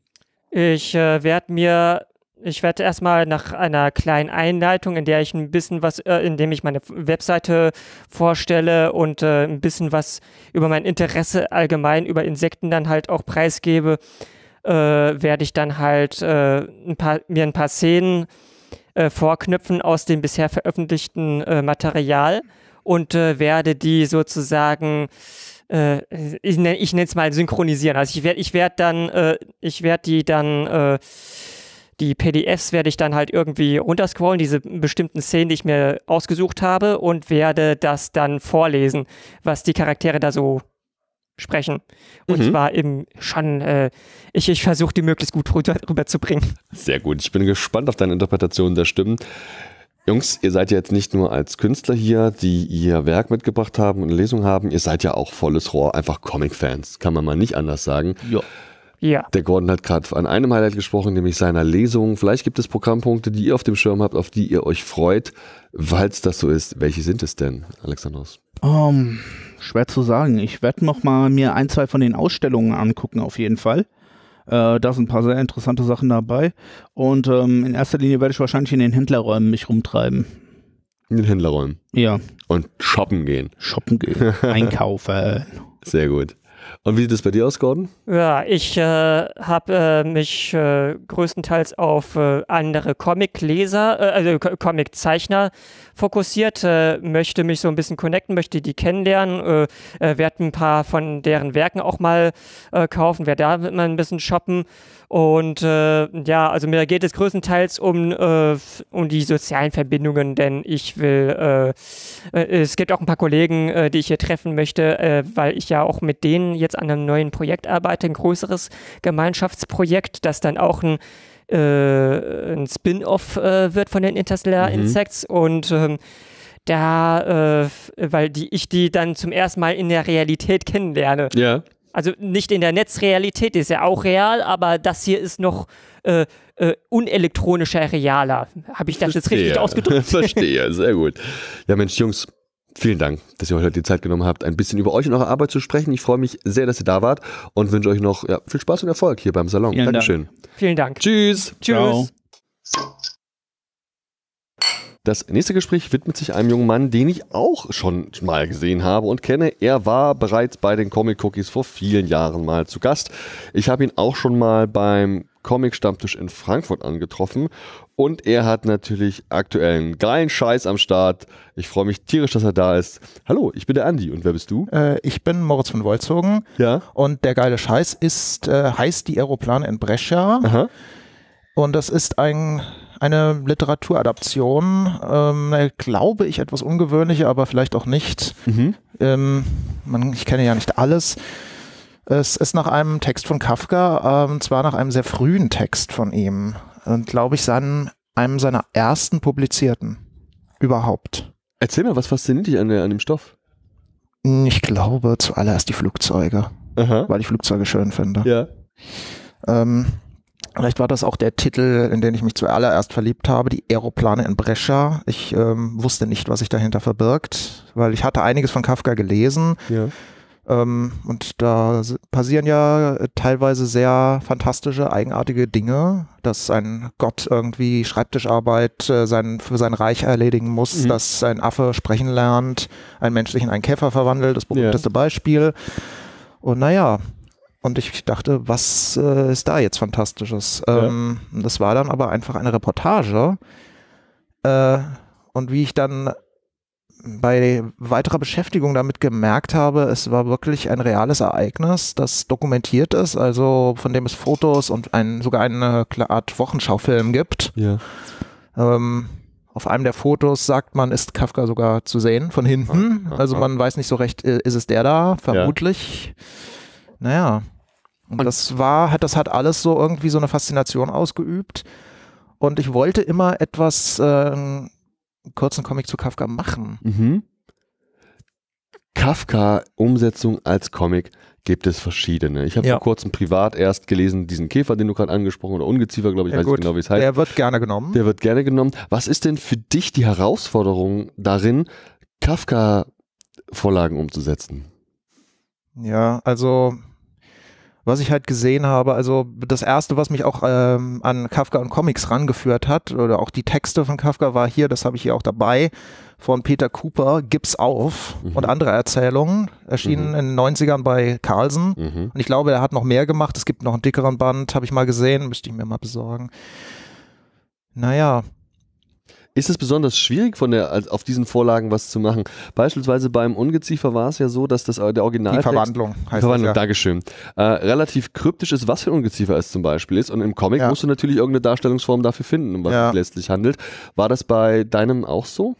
Nein, äh, weil ja viel, weil das, was er beschreibt, äh, sozusagen im Bild auch dokumentiert ist. Die Flugzeuge, die Piloten, die haben, diese Menschen gab es.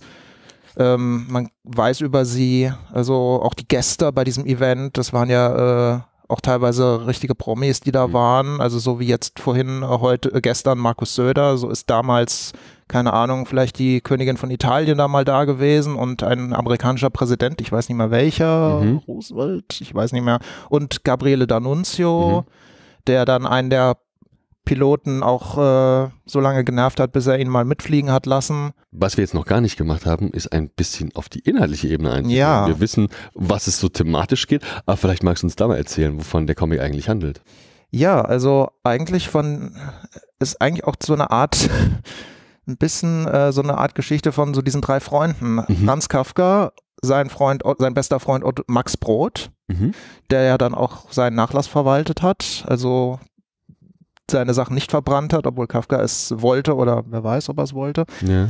Und äh, genau, also Franz Kafka, Max Brod und dessen Bruder Otto Brod. Mhm.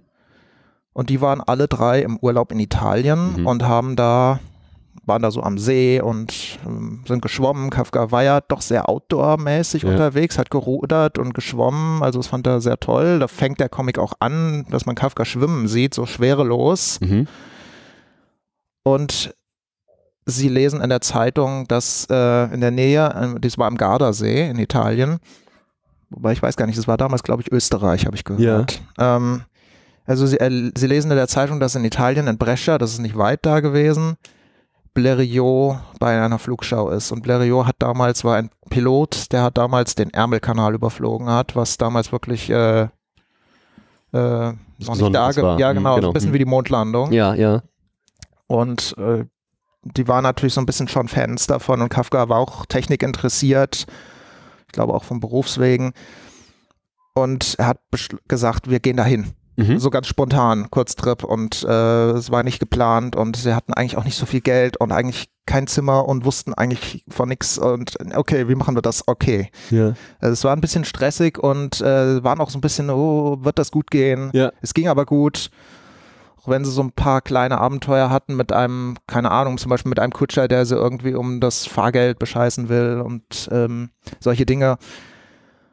Naja, und sie fahren dahin, kriegen auch alles, kriegen ein furchtbares kleines Zimmer und fahren dann am nächsten Tag mit dem Zug da aufs Flugfeld und äh, gucken sich alles an. Und sie hatten beschlossen, Max Brot und Kafka, wir schreiben einen Bericht darüber und versuchen das bei einer Zeitung unterzukriegen.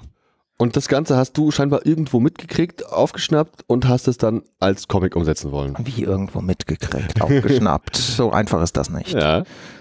Nein. Wie kam es denn dazu? Also was hat dich inspiriert?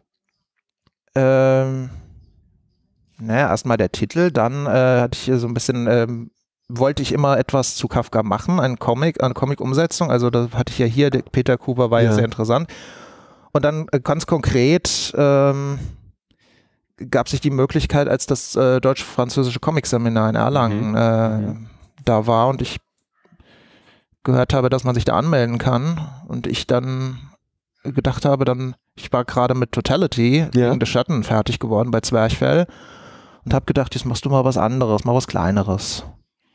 Ja, Und, und so, wo ist es denn eigentlich erschienen? Ich habe jetzt hier einen Verlag gesehen, von dem habe ich noch nie was gehört, glaube ich. ja, der hat auch bisher im Comic-Bereich noch nichts gemacht. Das ist äh, eigentlich eine Galeristin. Mhm. Und äh, ähm, bei Zwerchfell passte es nicht ins Verlagsprogramm, also ähm, Mhm. No Hard Feelings. Äh, es ist, äh, ich bin immer noch bei Zwerchfell, aber dieser Comic ist halt woanders erschienen. Ich bin sozusagen jetzt diversifizierter. Mhm. Ähm, und ja, äh, sie war so begeistert davon, diesen Comic zu machen und äh, dass mich da, dass sie das sehr unterstützt hat und ähm, das auch äh, im, in so im Sachen in puncto äh, Verarbeitung da auch ein bisschen äh, perfektionistisch veranlagt ist, äh, so wie ich. Ja, Also- wissen, dass das Werk da in guten Händen ist auch. ja, Ne? es dauerte eine Weile und hat noch mal länger gedauert Ja. wegen Corona, weil es, äh, ja genau, es hätte 2020 erscheinen sollen und dann, wie so vieles, äh, ist es total gebr- ausgebremst worden von äh, Corona. Ja, gerade weil das so eines von wenigen, wenn nicht gar ihr erstes Projekt ist, wie kam es denn zur Zusammenarbeit?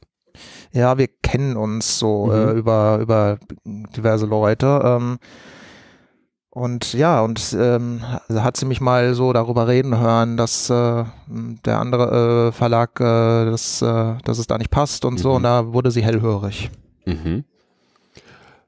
Du hast dein Comic dieses Jahr mit dabei, schätze ich mal. Wo kann man Ja. dich hier antreffen? Wie läuft es? läu- liegt, ähm, wie es läuft, habe ich noch nicht gefragt. Ich hab, bin gestern angekommen und habe Ja. das äh, Ding dort abgeliefert und äh, bei der Comic Solidarity Ja. in äh, Halle C. Ja, genau.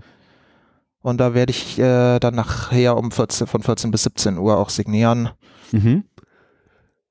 Prima, das heißt, das ist dann, ähm, du hast quasi hier bist äh, in Vertretung für die, äh, diese, die ist nicht selbst da, die Dame, die das für dich verlegt. Die genau, also und da habe ich halt mal Comic, bei Comic Solidarity angefragt. Ähm, Ja, das ist ja auch super, dass man das machen kann, oder? Also die Mhm. Option auch, dass man sich nur zeitweise auf Tische einbuchen kann und das äh, günstig bis kostenlos funktioniert, das finde ich ja auch großartig, soweit ich das weiß. ja. Ähm, und du hast dann hier auch die Signierzeiten und das ist natürlich eine Sache, das ist super. Hast du irgendwie auch, gibt es auch eine, wird es eine Lesung geben? Hast du dich dafür irgendwas angemeldet? Äh, noch nicht. Ich äh, hätte allerdings, also es würde mich interessieren, eine Lesung äh, zu machen. Allerdings äh, bräuchte ich dazu noch ein paar Sachen, die ich nicht dabei habe. Mhm. Also das wäre eine Idee. Für, also meine Vorstellung von der Lesung ist, äh, glaube ich, ein bisschen äh, anders als eine übliche Comic-Lesung. Also Ja. etwas, normalerweise wird an die Wand projiziert und dann das, was da projiziert wird, auch vorgelesen. Ja.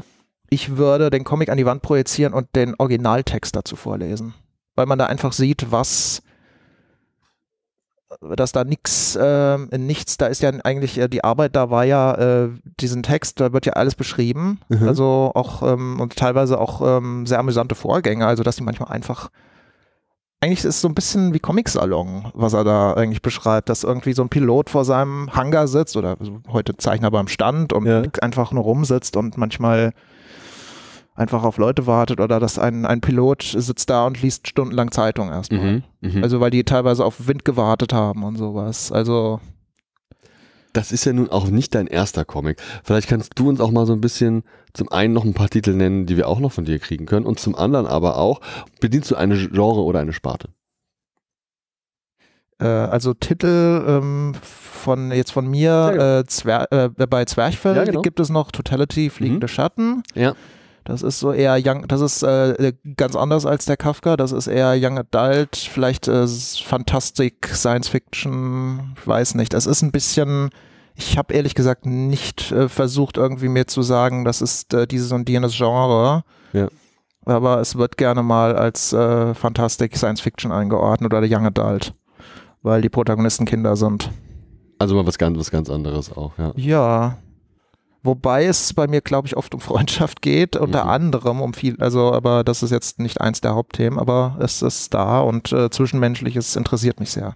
Wie sieht's aus? Du hast gemeint, das ist jetzt schon seit zwei Jahren fertig. Also vor quasi Corona warst du durch. Arbeitest du bereits an einem neuesten Projekt, einem neueren Projekt, das du uns vielleicht anteasen möchtest? Äh, das kann ich noch nicht. Äh, ich habe äh, einige Projekte, die mich so interessieren, Mhm. also, ähm, aber ich kann jetzt noch nicht konkret darüber sprechen. Mhm. Und dann sind noch, und da sind teilweise noch andere, noch Sachen, äh, an denen, die, die ich sozusagen äh, zum Geldverdienen mache, aber ja. diese, ähm, die auch was mit Illustration zu tun haben, aber die haben ja. jetzt nichts mit Comics zu tun. Also, was ich noch gemacht habe, aber das ist, ich weiß nicht, ob das passt, dass ich noch zwei m, hm, Jugendbücher illustriert habe bei Arena, mhm. Secrets of Amarak, äh, mit, ich weiß nicht, Christian Geilus hat das geschrieben. Mhm. Bin da auch eher zufällig dran gekommen. Okay jemand, äh, die Redakteurin mochte meinen Stil oder hat äh, über die Künstlerliste von Erlangen mal meine Homepage gefunden, aber so gut. So kommt das. Lieber Moritz, hm. danke, dass du da warst. Bitteschön. Und ein bisschen über dich in deiner Arbeit gesprochen hast. Ich wünsche noch ganz viel Spaß ja. und natürlich auch Erfolg hier beim Salon. Danke dir. Tschüss. Ja, bitteschön. Das nächste Gespräch findet mit einer Künstlerin statt und sie ist auf diversen Wegen und Art und Weisen eine Künstlerin. Soweit ich es mitbekommen habe, sie ist äh, verkauft hier beim Salon Dinge, sie findet aber auch auf Instagram statt und ich bin doch sehr gespannt, was sie uns heute zu erzählen hat. Hallo, ich bin der Andi und wer bist du? Hi, ich bin Franchi Nevada. Hi Franchi, stimmt das? Bist du Künstlerin? Ja, also manche würden es äh, Künstler nennen, manche Illustrator, manche äh, Kleinaussteller, also mhm. ich habe viele Namen. Was machst du denn für Kunst? Also, ich, oh, das kann man gar nicht so einfach in Worte fassen. Also, ich mache einerseits tradierte Kunst, also ich mache Gemälde, ähm, meistens Porträts, mhm. ähm, aber auch Landschaften in Öl und Acryl. Aber äh, ich mache auch lustige Illustrationen, hauptsächlich mit Ententhema. Lustige Illustrationen, so cartoonesk oder wie läuft das dann? Ähm, eher so äh, Postkartenmotive mhm. und hauptsächlich eigentlich auch Sticker. Mhm. Ähm, aber ich erweitere meine Produkte immer weiter. Also ich verkaufe jetzt auch Totebags, Schlüsselanhänger, ähm, bemalte Holzscheiben. Also was das Herz begehrt, was die Kunden wollen. Alles mit diesen Entenmotiven dann? Ähm, Entenmotiven oder also ich, ich komme mit den Illustrationen eigentlich ähm, der Cottagecore-Ästhetik sehr nahe. Also alles, was quasi mit dem Landleben zu tun hat, Natur, mhm. ähm, aber auch Pflanzen. Ja, das findet alles da quasi Verwendung. Warum? Was fasziniert dich so daran? Was sind so die Besonderheiten? Also, äh, ich bin da eigentlich darauf gekommen, äh, als die Corona-Krise hochging. Da konnte man eigentlich nicht so viel machen. Und da bin ich oft mit meinem Partner dann draußen in Parks gewesen, bin spazieren gegangen, oft dann auch an Teichen vorbeigegangen. Ja. Und da habe ich da irgendwie so eine Freude darin gefunden und so eine schöne Ablenkung auch von dem Ganzen, was da so in der Welt passiert, ähm, dass ich mir dann dachte, Mensch, also das wäre doch mal eine schöne Abwechslung, einfach mal ein bisschen mehr Freude rauszubringen. Ja. Und dann dachte ich mir, ja, was macht mich so froh? Ja, die Enten am Teich haben mich froh gemacht. Und dann habe ich aber dann so eine gute Response auch von anderen Leuten gehört.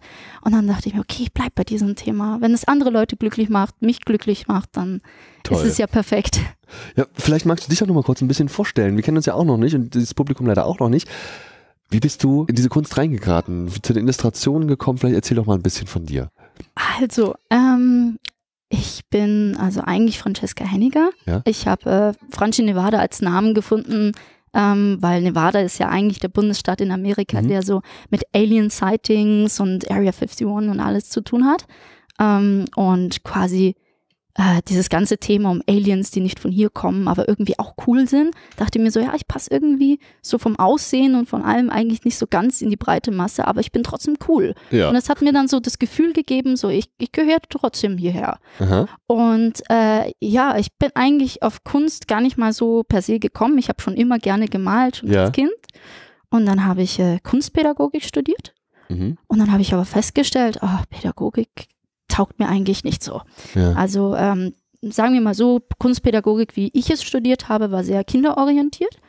Und ich wollte aber eigentlich auch so Erwachsenen- und älteren Pädagogik machen.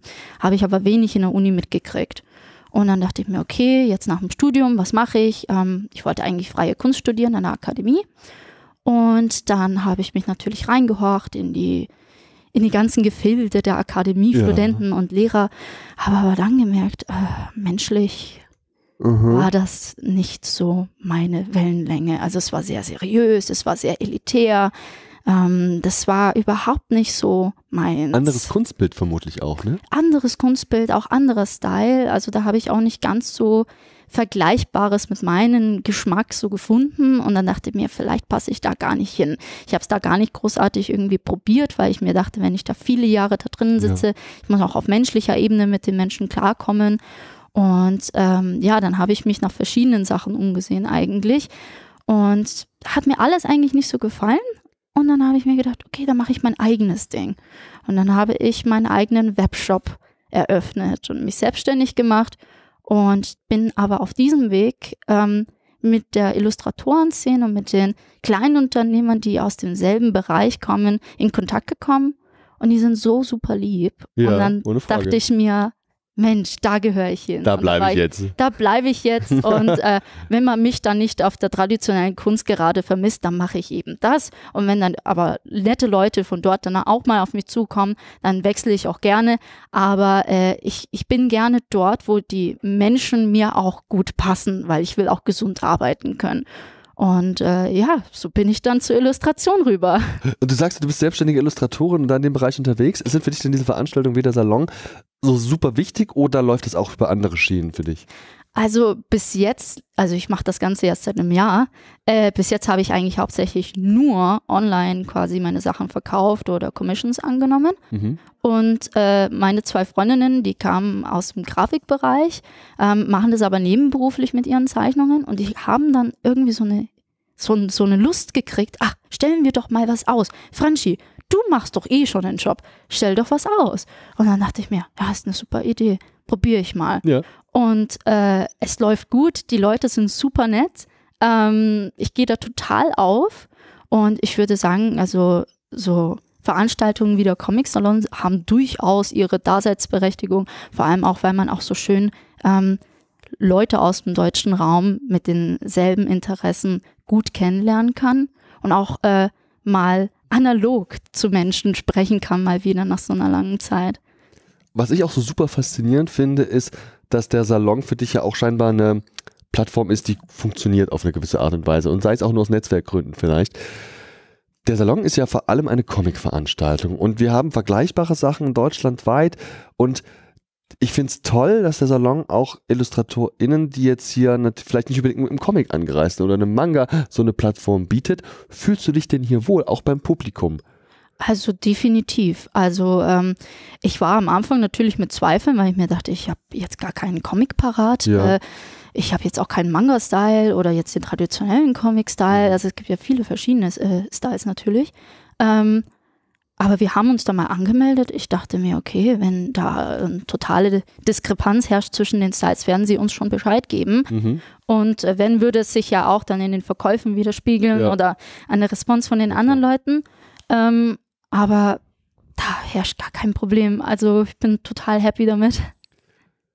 Du findest auf Instagram ja auch statt. Das heißt, man kann sich ganz viel, vielleicht sogar alles, keine Ahnung, von deinen Arbeiten dort anschauen. Und das finde ich halt mega spannend. Instagram ein super, ein super, ja, natürlich optisches Medium, das komplett so funktioniert. Gibt es da so eine Insta-Bubble, in die du reingerutscht bist? Gibt es da eine Community? Und sind die auch hier beim Salon? Weißt du das?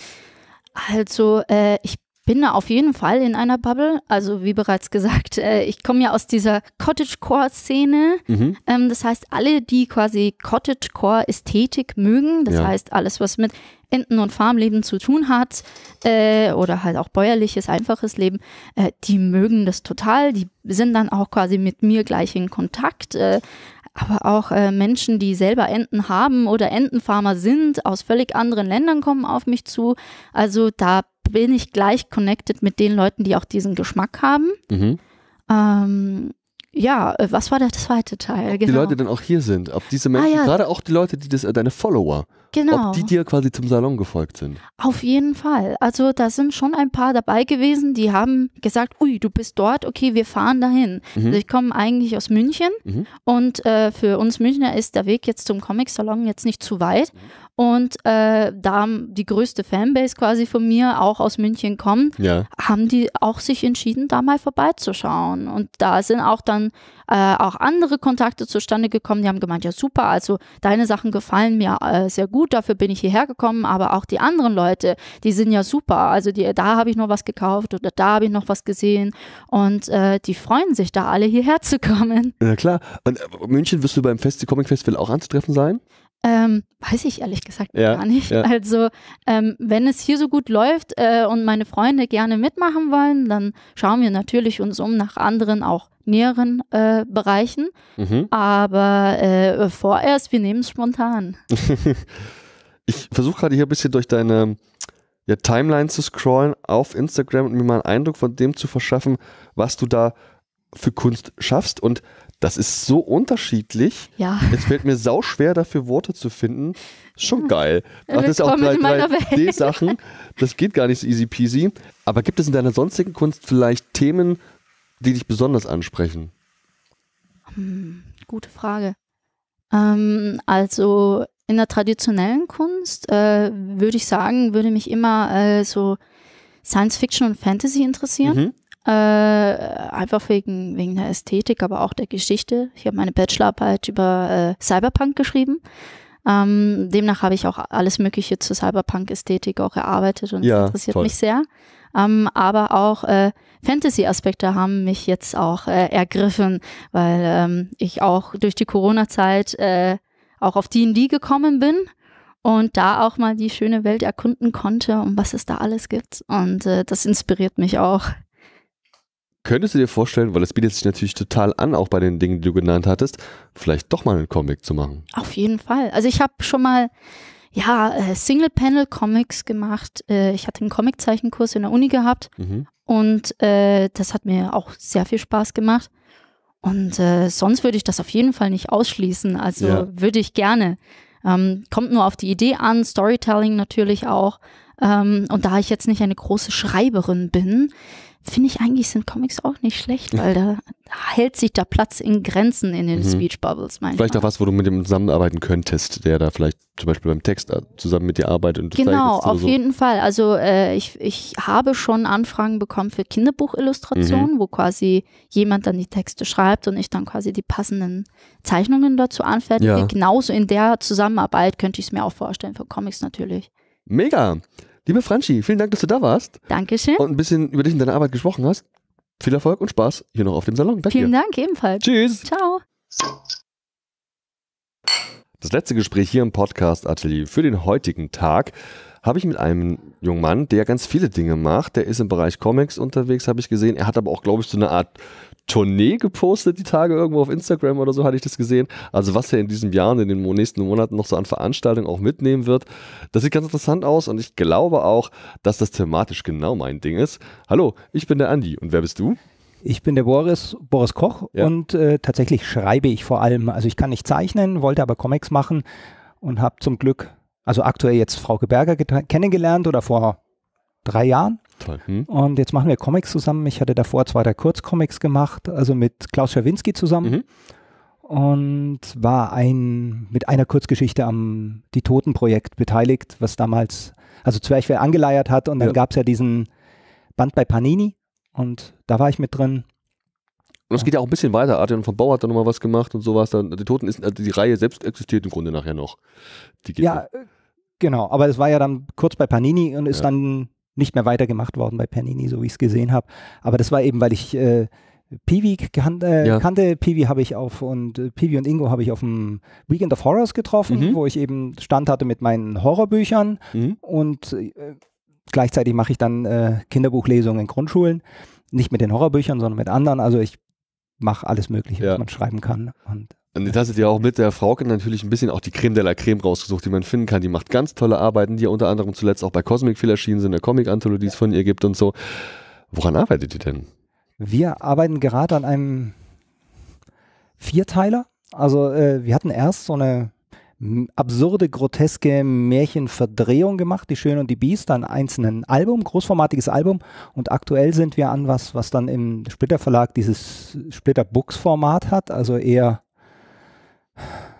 grob das amerikanische Format, sag mal eher in diese Richtung. Und ähm, das werden vier Bände, a 140 Seiten. Und äh, das ist eine Geschichte über ein äh, bizarres Schiff, das auf der Rückseite der Realität fährt, wenn man so will. Und äh, das wird zusammengebaut aus äh, Kinderzimmern von Kindern und Jugendlichen oder aus, aus Kellerverschlägen, wo Kinder und Jugendliche sich versteckt haben und dorthin geflohen sind. Also so, wenn man so will, eine, eine negative Peter Pan-Variante ähm, oder eine düstere Variante davon. Also es geht, beginnt mit zwei Jungs, die nach einem Streit mit den Eltern dorthin gewünscht werden von der Mutter, sich selber wünschen oder was auch immer und dort auf diesem Schiff auftauchen. Und äh, das Problem an dem Schiff ist, ähm, das ist nicht ohne Monster. Aha. Und äh, jetzt hängen die dort fest, äh, lernen, so viel sage ich zum ersten Band, Stück für Stück zwei Mädchen kennen, sehr schnell ein Mädchen und vor der Tür des Mädchens ist ein Werwolf. Jetzt bin ich von deiner Beschreibung ganz hin und her gerissen, wer die Zielgruppe sein könnte. Ist es ein düsteres Kinderbuch? Ist es ein Genrewerk? Was wird es werden? Mm, so gute Frage. Ähm, ich mag die Sachen ja, die sich nicht eindeutig irgendwo ja. zuordnen lassen. Selber beim, beim, beim Lesen oder auch beim Schreiben. Manche lässt sich mehr, manchmal weniger zuordnen. Ähm, das war so eine Sache, dass wir ja eher an ein erwachsenes Publikum gedacht haben ursprünglich, aber die Kinderperspektiven. Also du hast das, das berühmteste Beispiel in der Hinsicht ist wahrscheinlich äh, Ace von Stephen King als Roman. Die Hälfte ist in Kinderperspektive, ist aber eindeutig kein Kinderbuch. Ähm, der Herr der Fliegen ist auf der Kippe, da kann man drüber streiten. Und äh, es gibt ja so verschiedene ja. Sachen, die immer so hin und her wechseln. Und, äh, und wir hatten das auch so. Bei der ursprünglichen Idee war es nicht ganz klar, für was es ist. Jetzt haben wir es eigentlich düster geschrieben für Erwachsene. Nicht extrem explizit, mhm. sondern von der Atmosphäre, von der Komplexität soll es sein. Und jetzt würden wir ähm, plötzlich zu einem Top-Titel der Boys in Books Buch äh, Liste ernannt von diesem Halbjahr, mhm. ähm, was Jugendbuch ist. Mhm. Und somit sind wir jetzt wieder irgendwie, also das ist eigentlich in Literatur, die nehmen immer zwei, drei Comics mit auf, sonst sind es 20 Verstehe. Literaturtitel. Und jetzt sind wir da gelandet und, äh, und das trifft es eigentlich genau, was wir wollten. Wir wollten nicht, also wir hatten wahnsinnig viel Feedback von Erwachsenen, die es gelesen haben und jetzt mochten es Jugendliche. Und ich finde es, wenn es Leute entdecken, ja. egal wer, das begeistert mich halt immer, wenn man nicht weiß, ist das jetzt für mich gedacht oder nicht und mir gefällt es trotzdem, das ist einfach genau das, was raus sollte. Ja, auch wenn man sich nicht so festlegt im Publikum und sich damit auch selbst keine Schranken setzt in der Erstellung des Werkes, stelle ich mir das sehr befreiend vor, letztlich auch. Genau das, was ihr jetzt macht, dass ihr zu zweit an einem Comic arbeitet, ist in Deutschland relativ selten im Vergleich. Und das finde ich gut. Mich würde mal interessieren, wie bei euch so das Alltägliche dieser Arbeitsteilung aussieht. Ist es von deiner Seite aus schon komplett durchgeschrieben und jetzt macht die Frauke mal oder wie ist so der Austausch? Mm, ja, das trifft einigermaßen von dir. Nur, ähm, ich hatte mit Klaus Schawinski davor zusammengearbeitet, der auch gern mit Texten arbeitet. Mhm. Und dem habe ich so eine Art Comic-Skript gegeben. Ja ungezeichnet. Wie gesagt, meine Zeichnungen bringen nichts, verwirren nur. Ähm, bei Frauke ist es anders. Wir hatten die erste Sache war eine Adaption ähm, einer Kurzgeschichte von mir. Und wir haben diese Arbeitsweise beibehalten. Das heißt, ich schreibe eigentlich einen Prosatext. Ja. Äh, eine Erzählung und aus der Erzählung macht sie dann Comic, weil Frauke ist davon fasziniert, also was, was sie am meisten reizt am Comic machen, ist den Seitenaufbau festlegen. Und wie käme ich als nicht-Grafiker auf die Idee, dass ich das besser könnte als ja. sie. Also das ist natürlich viel besser, wie sie das ausarbeitet. Jetzt weiß ich natürlich, dass es ein Comic wird und ich setze mich nicht hin und mache einen Text, wie ich ihn als Roman schreiben würde, sondern weiß, dass ich, äh, die Dialoge müssen so geschrieben sein, dass sie in Sprechblasen gehen, sie müssen pointiert sein. Äh, ob in der Beschreibung des Raums eine Wortwiederholung stattfindet, ist völlig unerheblich. Die muss, die Beschreibung der Räume der Orte, der was auch immer, landet nie beim Leser. Das heißt, das ist nur ein Text, der an Frauke gerichtet ist. Mhm. Aber durch diese Arbeitsweise äh, kann ich eine, eine Stimmung transportieren, dass ich eben, was man mit Literatur kann, viel stärker, als man es mit ähm, nüchternen Beschreibungen machen könnte. Und diese Stimmung hilft Frauke, damit zu arbeiten, die, die Stimmung in Bilder zu bannen. Und wenn sich dann, sie macht dann ein, ein Storyboard aus dem, was ich gemacht habe. Und äh, bei dem Storyboard wird dann stellenweise mal ein Dialog gekürzt oder es wird was äh, erweitert und ich sehe an den ähm, Feedback, an den, ja. an, an den Feedback, an den mhm. Skizzen mhm. auch, wie es läuft und danach gehe ich nochmal in die Dialoge rein und ähm, arbeite an Dialogen und Frauke hat dann die freie Wahl von der Perspektive und alles, was sie macht. Und dadurch verschiebt sich, durch die Bilder verschiebt sich ja das, was ich aufgeschrieben habe. Das wird ja mhm, das, die nächste Stufe.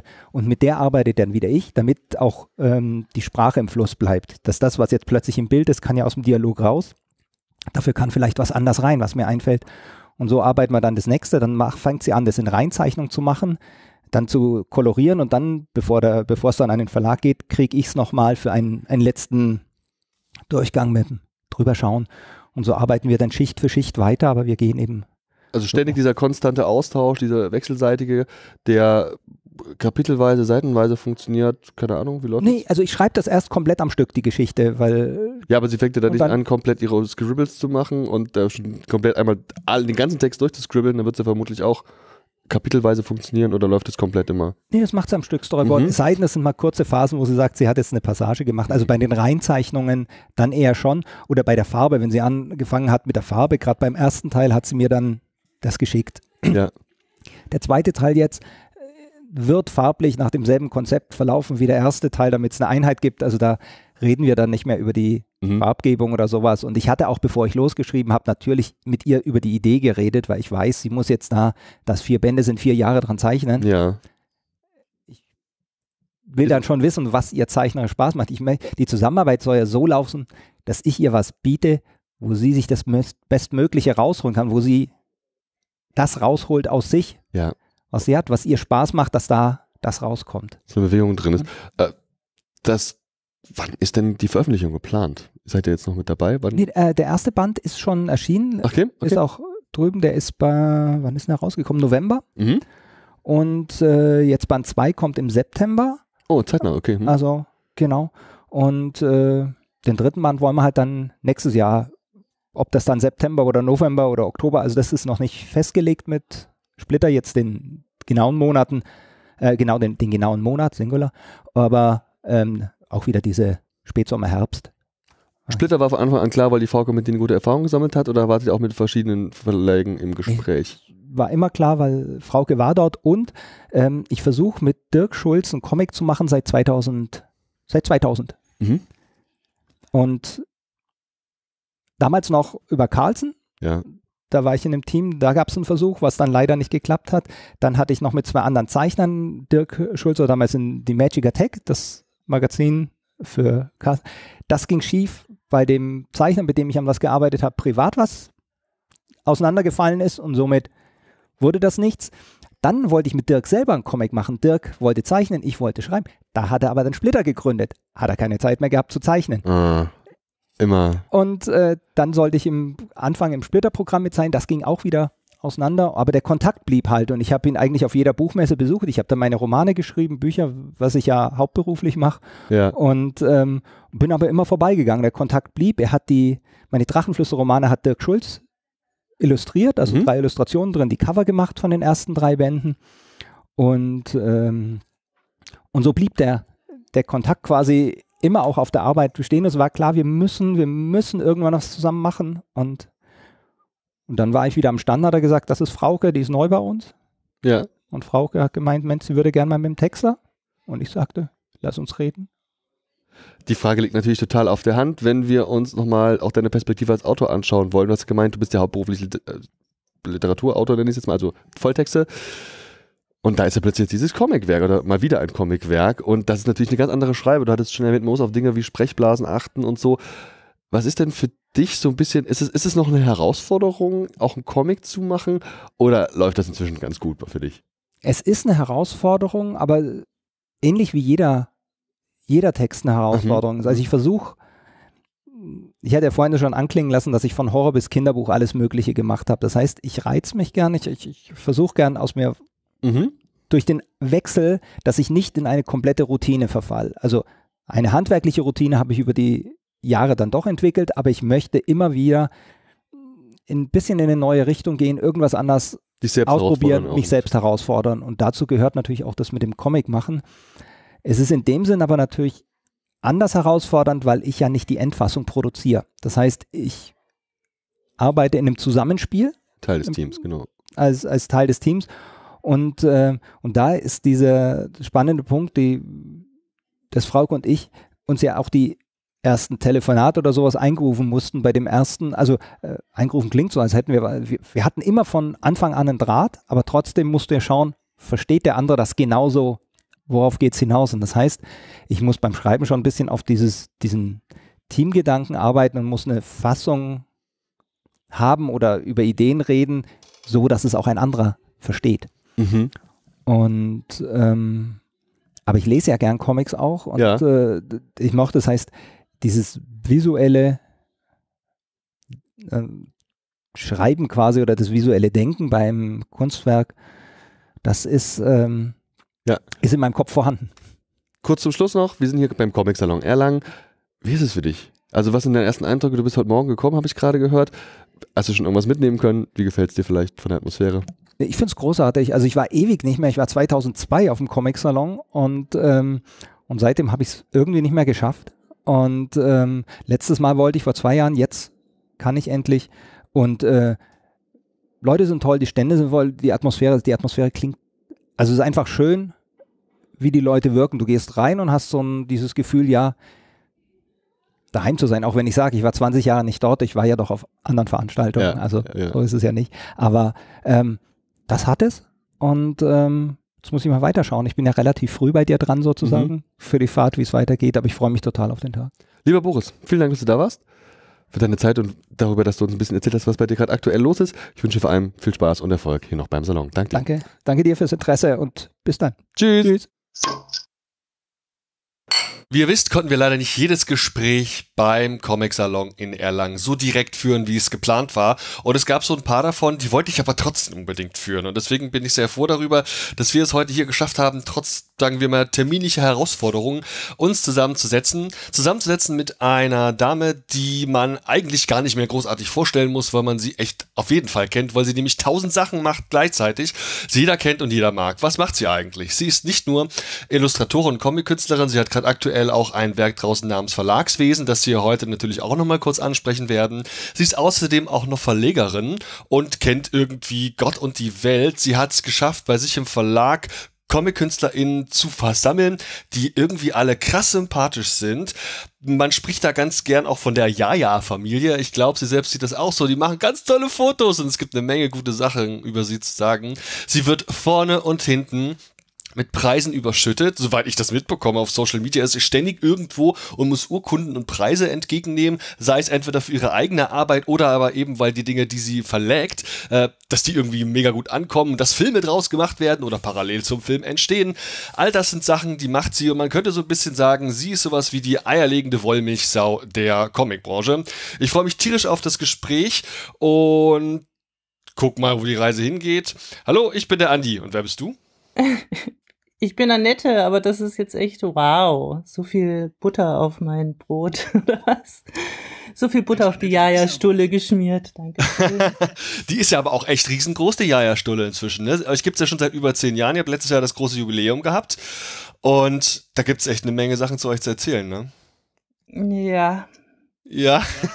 Und wir wollten uns in Erlangen treffen, aber da war es einfach so heiß, ne? Da hattet ihr in Erlangen vielleicht mal kurz dazu da habt ihr eine Ausstellung gehabt, so eine gar eine eigene. Was war da denn los? Ja, das war das erste Mal, dass wir hier mal eine Ausstellung haben durften. Und ähm, ja, was war da los? Da habe ich dann so möglichst viele Autorinnen, äh, Zeichnerinnen gezeigt. gezeigt. Oder sie haben sich gezeigt. Oder wir haben die Bilder gezeigt. Weil ähm, das finde ich eigentlich auch eins der interessantesten Sachen bei dem ganzen Verlagsding und bei dem Büchermachen, wie kommt, was ist eigentlich davor? So diese ganze Arbeit dahin, ähm, die, die groben Skizzen, die Zeichnungen, also die Originale, dass, dass man die auch schön zeigen kann und sehen will. und das spreche ich nämlich auch aus eigener Erfahrung, weil ich war ja äh, Erlangerin und bin schon als Studentin oder Kind schon zum Comicsalon gegangen. Und das Beste fand ich immer, waren die Ausstellungen mit den Originalen. Weil, ähm, ja, also ich glaube, die haben mich einfach am meisten inspiriert. Die wollte ich ähm, am längsten angucken und dann konnte ich auch immer so ganz nah rangehen und, und sehen, okay, wie hat er denn das gemacht jetzt hier mit dem Tipex oder wie ist denn hier die Technik und so. Das fand ich am geilsten und das wollte ich auch einfach mal in Erlangen zeigen. Etwas zurückgeben. über zehn Jahre Verlagsgeschichte konntest du dort ausstellen. Und wenn ich es jetzt richtig verstanden habe, war das eine Ausstellung, wo der Fokus quasi auf den Originalen lag und vor allem auch im Erstellungsprozess dieser Originale, richtig? Mhm. Ja, kann man sagen. Und wir hatten so schicke Vitrinen. Mhm. Und ähm, da habe ich mal so, da habe ich aus unserem aktuellen Ja-Ja-Jubiläumsmagazin die Seiten reingepackt, ähm, wo es um den Comicsalon ging. Also was du vorhin gesagt hast mit den Fotos und ähm, die Familie, ja, da habe ich also die, die vier, fünfmal, fünfmal insgesamt, die wir beim Comic-Salon waren mit Jaja, äh, quasi wie so ein Fotoalbum ausgestellt. Fünfmal? Das Ding findet alle zwei Jahre statt, das heißt, also du warst konsequent von Anfang an dabei. Ja, ich überlege also gerade. 2012, 14, 16, 18, 20 fiel aus. 22, ja, stimmt. Das war das fünfte Erlangen. Vielleicht mal aus deiner Sicht. Der Jahrverlag ist für mich persönlich auch sowas wie eine Nachwuchsschmiede. Ich finde, ihr habt da ganz viele Leute, die zum Teil eben auch tolle Erstveröffentlichungen haben, die so ein bisschen, wenn man will, gerade Vollgas durchstarten und das Ganze aber auch zu einer wirklich hohen, zu einer guten Qualität. Was würdest du denn mit deinen Worten aus deiner Sicht sagen, was zeichnet denn den Jaja Verlag aus? Äh, Stilvielfalt auf jeden Fall auch. Wobei man da jetzt ja schon irgendwie auch was ablesen kann. So was, aber das ist eigentlich auch nur so anscheinend, was mir gefällt oder was nicht.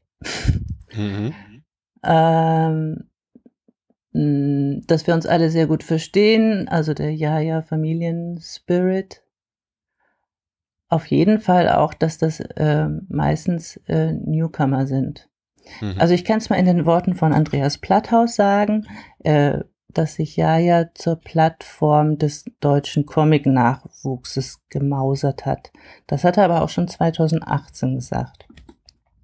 Und dann dachte ich mir so, ja, stimmt. Also es ist ungefähr über die Hälfte ähm, der Veröffentlichungen sind Diplom, Bachelor oder irgendwie sonst wie Abschlussarbeiten. Und in meiner kleinen Bubble kommen diese Arbeiten auch wirklich sehr gut an, werden da regelmäßig positiv rezensiert. Das heißt also, der Ja-Verlag ist ein Erfolgskonzept, oder? ja, ja. ich sag mal ja wer sich mal einen Eindruck davon machen möchte, wie vielleicht im Ansatz so dein Alltag aussieht beim Verjag als Verlegerin, was du da so die ganze Zeit tust und was gemacht werden muss, wie viel Kaffee man trinkt und wer da sonst noch in den vier Räumlichkeiten unterwegs ist, äh, in den Räumlichkeiten unterwegs ist, wo der ja Verlag so stattfindet, der kann gern mal in Verlagswesen reinschauen. Das ist ein Comic, den hast du gemacht. Vielleicht magst du uns mal kurz vorstellen, was das eigentlich ist. Das ist ein Tag im Jaja Verlag vor Corona. Darum ist es eigentlich schon, äh, es ist schon Geschichte. Mhm. Weil äh, inzwischen sieht es hier natürlich anders aus. Und ich bin jetzt auch ganz alleine. also es war ja ähm, bis 2020 war Jaja Verlag hier mit in der Musenstube und die Musenstube ist eine Ateliergemeinschaft, die es noch fünf Jahre länger gab hier in Berlin. Genau. Und 2020 war dann kam Corona, wie ihr alle wisst, ne? Mhm. Große Veränderungen äh, brachen an und für mich war es oder für den Jaja Verlag war es so, okay, ich, ähm, ich brauche jetzt hier mehr Platz und ich will jetzt den ganzen, äh, die ganzen Räume. mhm. So groß ist es auch nicht. Es ist ja wirklich sehr klein. Und ähm, ja, ich will jetzt hier ganz alleine mit Jaja werkeln und gut ist. Das war so der Plan. Warum komme ich jetzt dahin? Naja, es ist immer schon so ein bisschen angespielt in dem, in dem Comic, in dem Verlagswesen-Comic. Ansonsten würde ich sagen, ich wollte einfach mal einen Einblick geben, wie das hier alles so läuft bei Jaja. Hm. Ich wollte einen Comic mal wieder zeichnen und es stand das zehnjährige Jubiläum an. Also ich dachte, es passt irgendwie gut zusammen und äh, ja, es gibt wirklich sehr interessante auch Details und Einblicke und das Ding steckt zum Beispiel auch voller Easter Eggs. Das finde ich einfach großartig. Ich meine, was ein sehr offensichtliches Easter Egg zum Beispiel gleich auf dem Cover ist, ist halt dieses Schlüssel, dieser Schlüsselband vom Comic-Salon. Ja. Das, ich, das ist so eines von unzähligen kleinen Easter Eggs, die da drin stecken.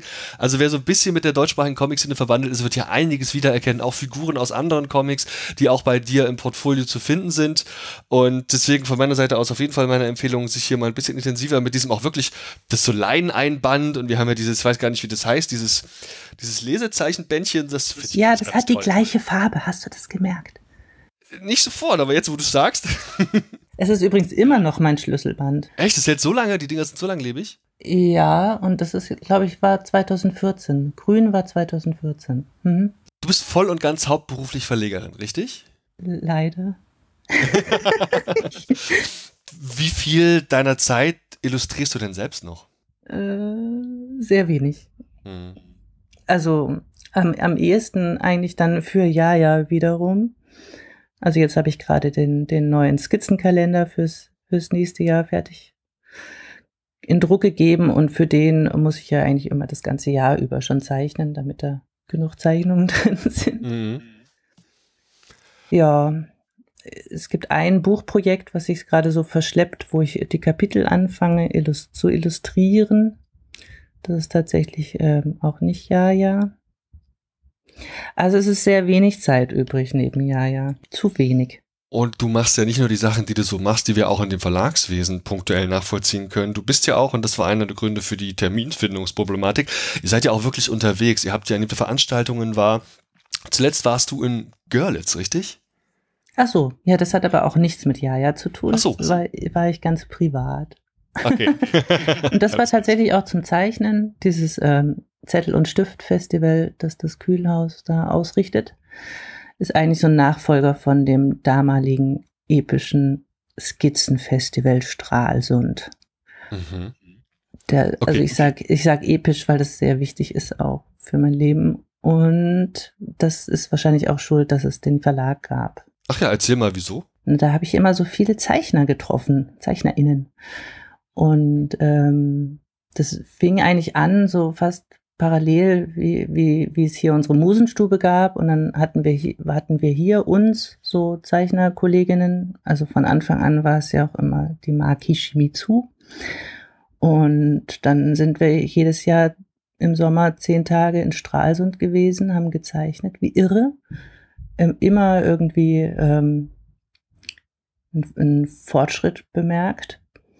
Also es war halt 40 Leute, die aufeinander hocken und nur zeichnen. Das, das allein ist schon geil und es war jetzt ke keine Bewertung oder so. Es ging einfach darum, dass wir uns entwickeln und uns gegenseitig über die Schultern gucken. Es gibt tausend Workshops.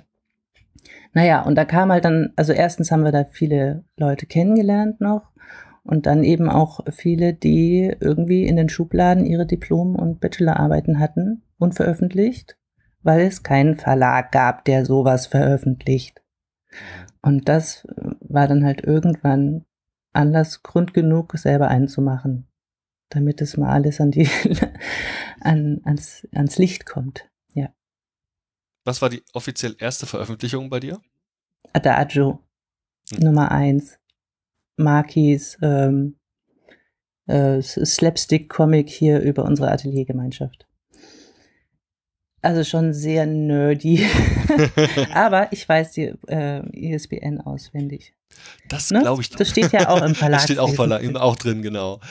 Dann kam relativ zeitnah auch sowas, ich glaube, wie Mick mit dem Papa Diktator dazu, richtig? Ja, genau. Die Historie mit Mick. Auch ein toller Musiker, da müsst ihr euch mal informieren. Der tritt hier und da mal live auf mit seiner, äh, also als Teil einer Combo mit mehreren Menschen. Könnt ihr euch auch unbedingt mal anhören. Und dann habe ich es gleich zu Beginn der Anmoderation ja schon auch angeschnitten. Ich habe wirklich den Überblick verloren. Du warst zuletzt also oft unterwegs. Du als Verlag wurdest ausgezeichnet, aber eben auch die Sachen, die du veröffentlichst. Vielleicht kannst du uns da mal einen aktuellen Überblick geben. Fangen wir doch mal bei den Auszeichnungen für den Verlag an. Was gab es da denn so in letzter Zeit? Letzte Zeit. Also es gab ja letztes Jahr schon den äh, Deutschen Verlagspreis zum ersten Mal und den gab es dieses Jahr nochmal. Das war jetzt eigentlich das letzte. Eine Woche nach dem Comic-Salon, ne Quatsch, paar Tage nach dem Comic-Salon war die Preisüberreichung äh, da in Leipzig. Du hast den zwei Jahre in Folge bekommen. Zwei Jahre in Folge, ja. Mhm. Finde ich gut. Und dazwischen war noch der Berliner Verlagspreis. Also da gibt's äh, so eine Shortlist von fünf. Also da haben wir jetzt nicht den Preis bekommen, aber eine Auszeichnung. Und da warte ich jetzt auf, auf, den, auf den nächsten. also Berliner Verlagspreis 22. Das steht noch aus, wo wir da landen. Mega, also wird anerkannt, was du da machst. Ja, also ich muss auch, ich muss auch sagen, das, das, das tut wirklich gut. Das tat mir letztes Jahr sehr gut.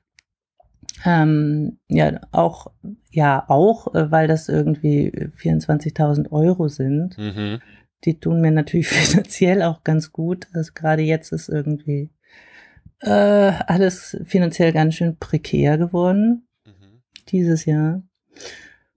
Ähm, aber vor allem tut es auch gut, weil dann auf der Bühne irgendwie gesprochen wird und nochmal herausgestellt wird, was so wichtig an uns ist. Also mhm. was, was so wichtig ist, dass es unabhängige Verlage gibt, was die für wichtige Sachen tun, was da für mutige VerlegerInnen dahinter stehen.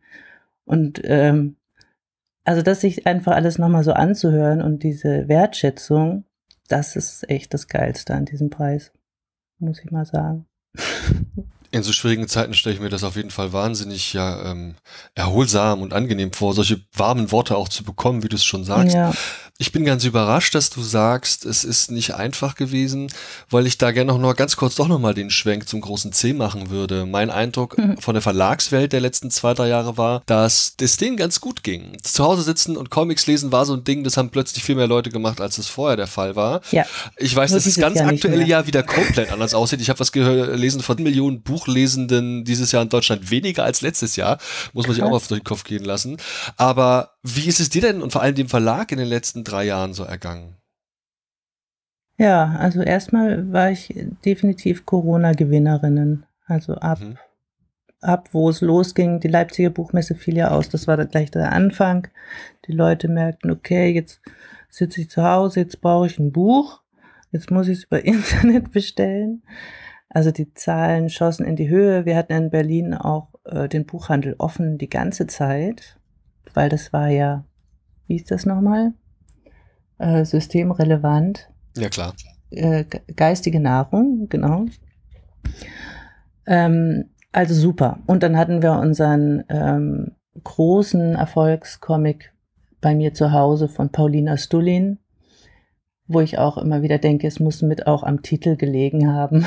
ich hatte so Angst vor diesem Ding, weil es sind einfach 600 Seiten und es ist, kostet 35 Euro im Verkauf.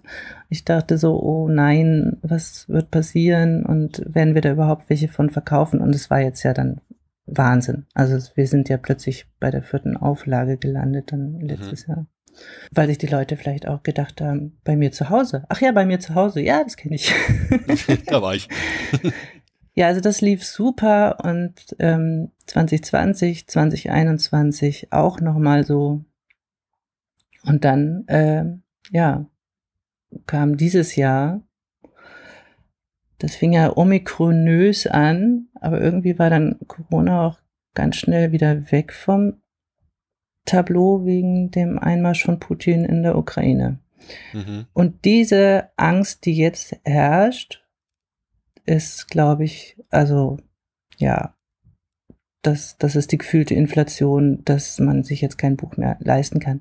Beziehungsweise man kann jetzt endlich die ganzen Konzerte auch nachholen und sonst welche Sachen machen, die man halt ah, ja. zwei Jahre lang nicht gemacht hat. Also darum denke ich, ist der Bedarf gerade an Büchern nicht so hoch, leider. Ja. Und ich weiß auch nicht, wie die Leute jetzt äh, mit der Situation umgehen und wie das Weihnachtsgeschäft wird. Ich habe keine Ahnung. Also es ist einfach eine Unsicherheit, die so gerade ist, die ist echt, ähm, ja, komisch. Fühlt sich komisch an. Ja, es ist interessant, dass du auch sagst, dass das Medium so in Konkurrenz steht zu letztlich anderen Freizeitaktivitäten, wie jetzt, keine Ahnung, das, der, auch der Kinobesuch zum Beispiel, ja, oder eben du hast das Konzertbesuch angesprochen, oder aber eben auch der Freibadbesuch. Ist ja, jetzt ja man kann ja auch im Freibad einen Comic lesen. Ne, kann man machen. Dann kann man den auch Leuten auch irgendwie einen Comic geben, der sogar so heißt. Also Praktisch. Geht, geht halt mit, mit dem Freibad ins Freibad. Den hast du mir nämlich netterweise auch zur Verfügung gestellt. Den habe ich auch gelesen. Wir haben ihn übrigens auch in der aktuellen Ausgabe der Comic Cookies besprochen. Da auf mhm. jeden Fall der Hinweis, da mal reinzuhören. Und ich habe ihn, glaube ich, genauso auch zusammengefasst wie viele andere Rezensionen, dass er nämlich der perfekte Comic für den Sommer und fürs Freibad ist, weil er einfach dieses Sommergefühl total hat, was vielleicht irgendwie auch an den Farben liegt und so. Sag mal, wie weit, inwieweit warst du da eigentlich involviert bei dem Erstellungsprozess, gerade bei dieser Zusammenarbeit von der Doris Döri und der Paulina? Warst du da irgendwie drin oder hast du im Endeffekt nur noch alles verlegen müssen. Ich, ich habe im Endeffekt alles verlegt und stand die ganze Zeit staunend daneben. Ja. das haben die äh, ganz untereinander äh, irgendwie geregelt. Hm. Und auf meine verzweifelten E-Mails, erzähl doch mal, was ist denn los? Was passiert? Hat immer keiner richtig geantwortet. Naja, das ist dann auch ähm, Paulinas Style, die schickt mir dann lieber das sozusagen fast fertige Dokument und sagt, okay, jetzt sag, was du davon hältst. Ihr wart jetzt auch bei der Premiere, ne? Ja, jetzt dauert es noch zwei Wochen, dann kommt der Film ins Kino. Man kann sich schon den, den Trailer anschauen zum Beispiel. Sehr lustig. Meine Frage, ich weiß nicht, ob es an der Ausgabe liegt, die ich habe, oder ob das generell ein Fehldruck in der ersten Auflage war, aber was ist das denn mit dieser losen Seite? Ach Manu, jetzt wird es voll veröffentlicht hier. ja, ähm, mein Fehler. Mhm. Das ist leider mein Fehler gewesen, dass ich da diese Seite doppelt ähm, angelegt habe. Es hat keiner bemerkt. Die Bücher gingen in Druck. Es waren 3000 gedruckt. Und ähm, die nachhaltigste Variante, wie wir das irgendwie wieder gut machen, war halt einfach eine Extraseite zu drucken, die fehlende Extraseite zu drucken und in alle Bücher hineinzulegen. Per hm, Hand. Okay. okay, das ist also in der kompletten ersten Auflage der Fall. Das ist leider die erste Auflage von 3000 Stück. Die hat jetzt diese tolle Spezialseite. Also wir träumen ja davon, dass es irgendwie mehr Auflagen gibt und dass wir irgendwann sagen können so, hey, hast du noch so ein Buch mit der, von der ersten Auflage? Na, ist ja auch voll gut, weil die Paulina, die ja nun wirklich auch sehr redegewandt ist, die man gerne in Interviews hat und der auch gern zuhört. Ich glaube, das ist auch so eine, die gern diese eine besondere spezielle Seite signieren würde, oder? ja, das kann sie gerne. und dann du am besten noch dazu und im besten Fall vielleicht noch von dem ein oder anderen, ja, von der ein oder anderen Person, die am Film beteiligt war, dann wäre das das absolute Komplettpaket. Ja, dann in zehn Jahren so, wenn es wenn es dann episch genug geworden ist. Nee, also es ist einfach ein, es passieren Fehler auch immer noch nach zehn Jahren und ich glaube, es ist echt äh, menschlich, aber wir würden jetzt niemals irgendwie diese 3000 Bücher einstampfen und wieder neu drucken lassen. Das geht einfach nicht. Na klar, natürlich. Ist ja auch, wie du schon sagst, nicht die nachhaltigste Idee. Das finde ich schon gut, dass ihr es gelöst habt, wie ihr es gemacht habt. Ähm, vielleicht nochmal zum Schluss unseres Gesprächs mal ein kurzer Blick in die Zukunft. An wie vielen Sachen arbeitest du denn jetzt für den Verlag an Veröffentlichungen? Äh, Gerade was ist da so ungefähr im Blick? Erzähl doch mal so ein bisschen, was in den nächsten Monaten auf uns zukommt. In den nächsten Monaten kommen die Kalender raus ähm, das ist jetzt nicht so spannend. Ein sehr lustiger Comic noch. Also ich bin ja irgendwie diesen äh, Sommer dann in Richtung, okay, jetzt, jetzt, jetzt wird's komödiantisch äh, gegangen. Weil das war so meine, ähm, es gibt keine adäquate Antwort auf diese ganzen Krisen, aber es war so mein, meine Reaktion, ich mache jetzt einfach Komik, weil das ist einfach äh, wenn ich jetzt noch Bücher mache, die sich mit den Übeln dieser Welt beschäftigen, dann drehen alle durch. Also mache ich lieber Comics, über die man lachen kann. Deswegen gibt es ja auch dieses lustige Möchtest du mal durchblättern Buch. Und ähm, so auf gleicher Ebene, ungefähr Augenhöhe, hat Stefan Holzweg einen lustig, einen lustigen äh, Instagram-Kanal, auf dem er ähm, so Cartoons heißt es ja dann, gemacht hat. Und die haben mich schon seit 2020 immer sehr erheitert, weil da ging es auch immer ganz gut mit dem Galgenhumor durch die Krisen. Und ja, das kommt jetzt raus. Äh, die lieben Kundinnen. Uns ist noch aufgefallen, dass wir gendern müssen im Titel. Mhm. Müssen, weil wir das wollen. Mhm. Also eigentlich angekündigt als die lieben Kunden, ist es jetzt aber die lieben Kundinnen. Verstehe. Und das ist, ähm, ja, du, ja. das sind sogar nur Strichmännchen und, und Weibchen. Das ist, also ist ja, Strichmännchen sind ja voll der heiße Scheiß. sind ja richtig gut. richtig arty. ja. ja, mega. Liebe Annette, vielen, vielen Dank für deine Zeit und für unser kurzes Gespräch. Und ähm, habe mich sehr gefreut, dass du dir Zeit genommen hast. Und ich wünsche vor allem noch in Zeiten wie diesen natürlich erst recht jede Menge Erfolg. Für dich und natürlich auch für den Jaja Verlag. Danke, danke. Tschüss. Comic. Jajaverlag.com. Ich sollte doch noch Eigenwerbung machen. Alles in Denk den Shownotes könnt ihr ja gar nicht übersehen. okay, macht's gut. Comic. Sehr geehrte Damen und Herren, wertes Publikum, liebe Hörende, vielen Dank für eure Aufmerksamkeit und Zeit. Ich hoffe sehr, euch hat gefallen, was ihr gerade gehört habt. Wir, die Redaktion des Telestammtisch, betreiben ein semi-professionelles Podcast-Projekt zum Selbstmitmachen. Also meldet euch bei uns, wir beißen auf. Außerdem freuen wir uns immer über Feedback via Social Media und E-Mail sowie euren finanziellen Support. Ebenso frohlocken wir förmlich über Bewertungen auf den gängigen Podcast-Plattformen. Wer möchte, darf uns gern immer und überall empfehlen. Alle relevanten Links findet ihr in den Show Notes. Vielen Dank und bis zum nächsten Mal. Euer Andi.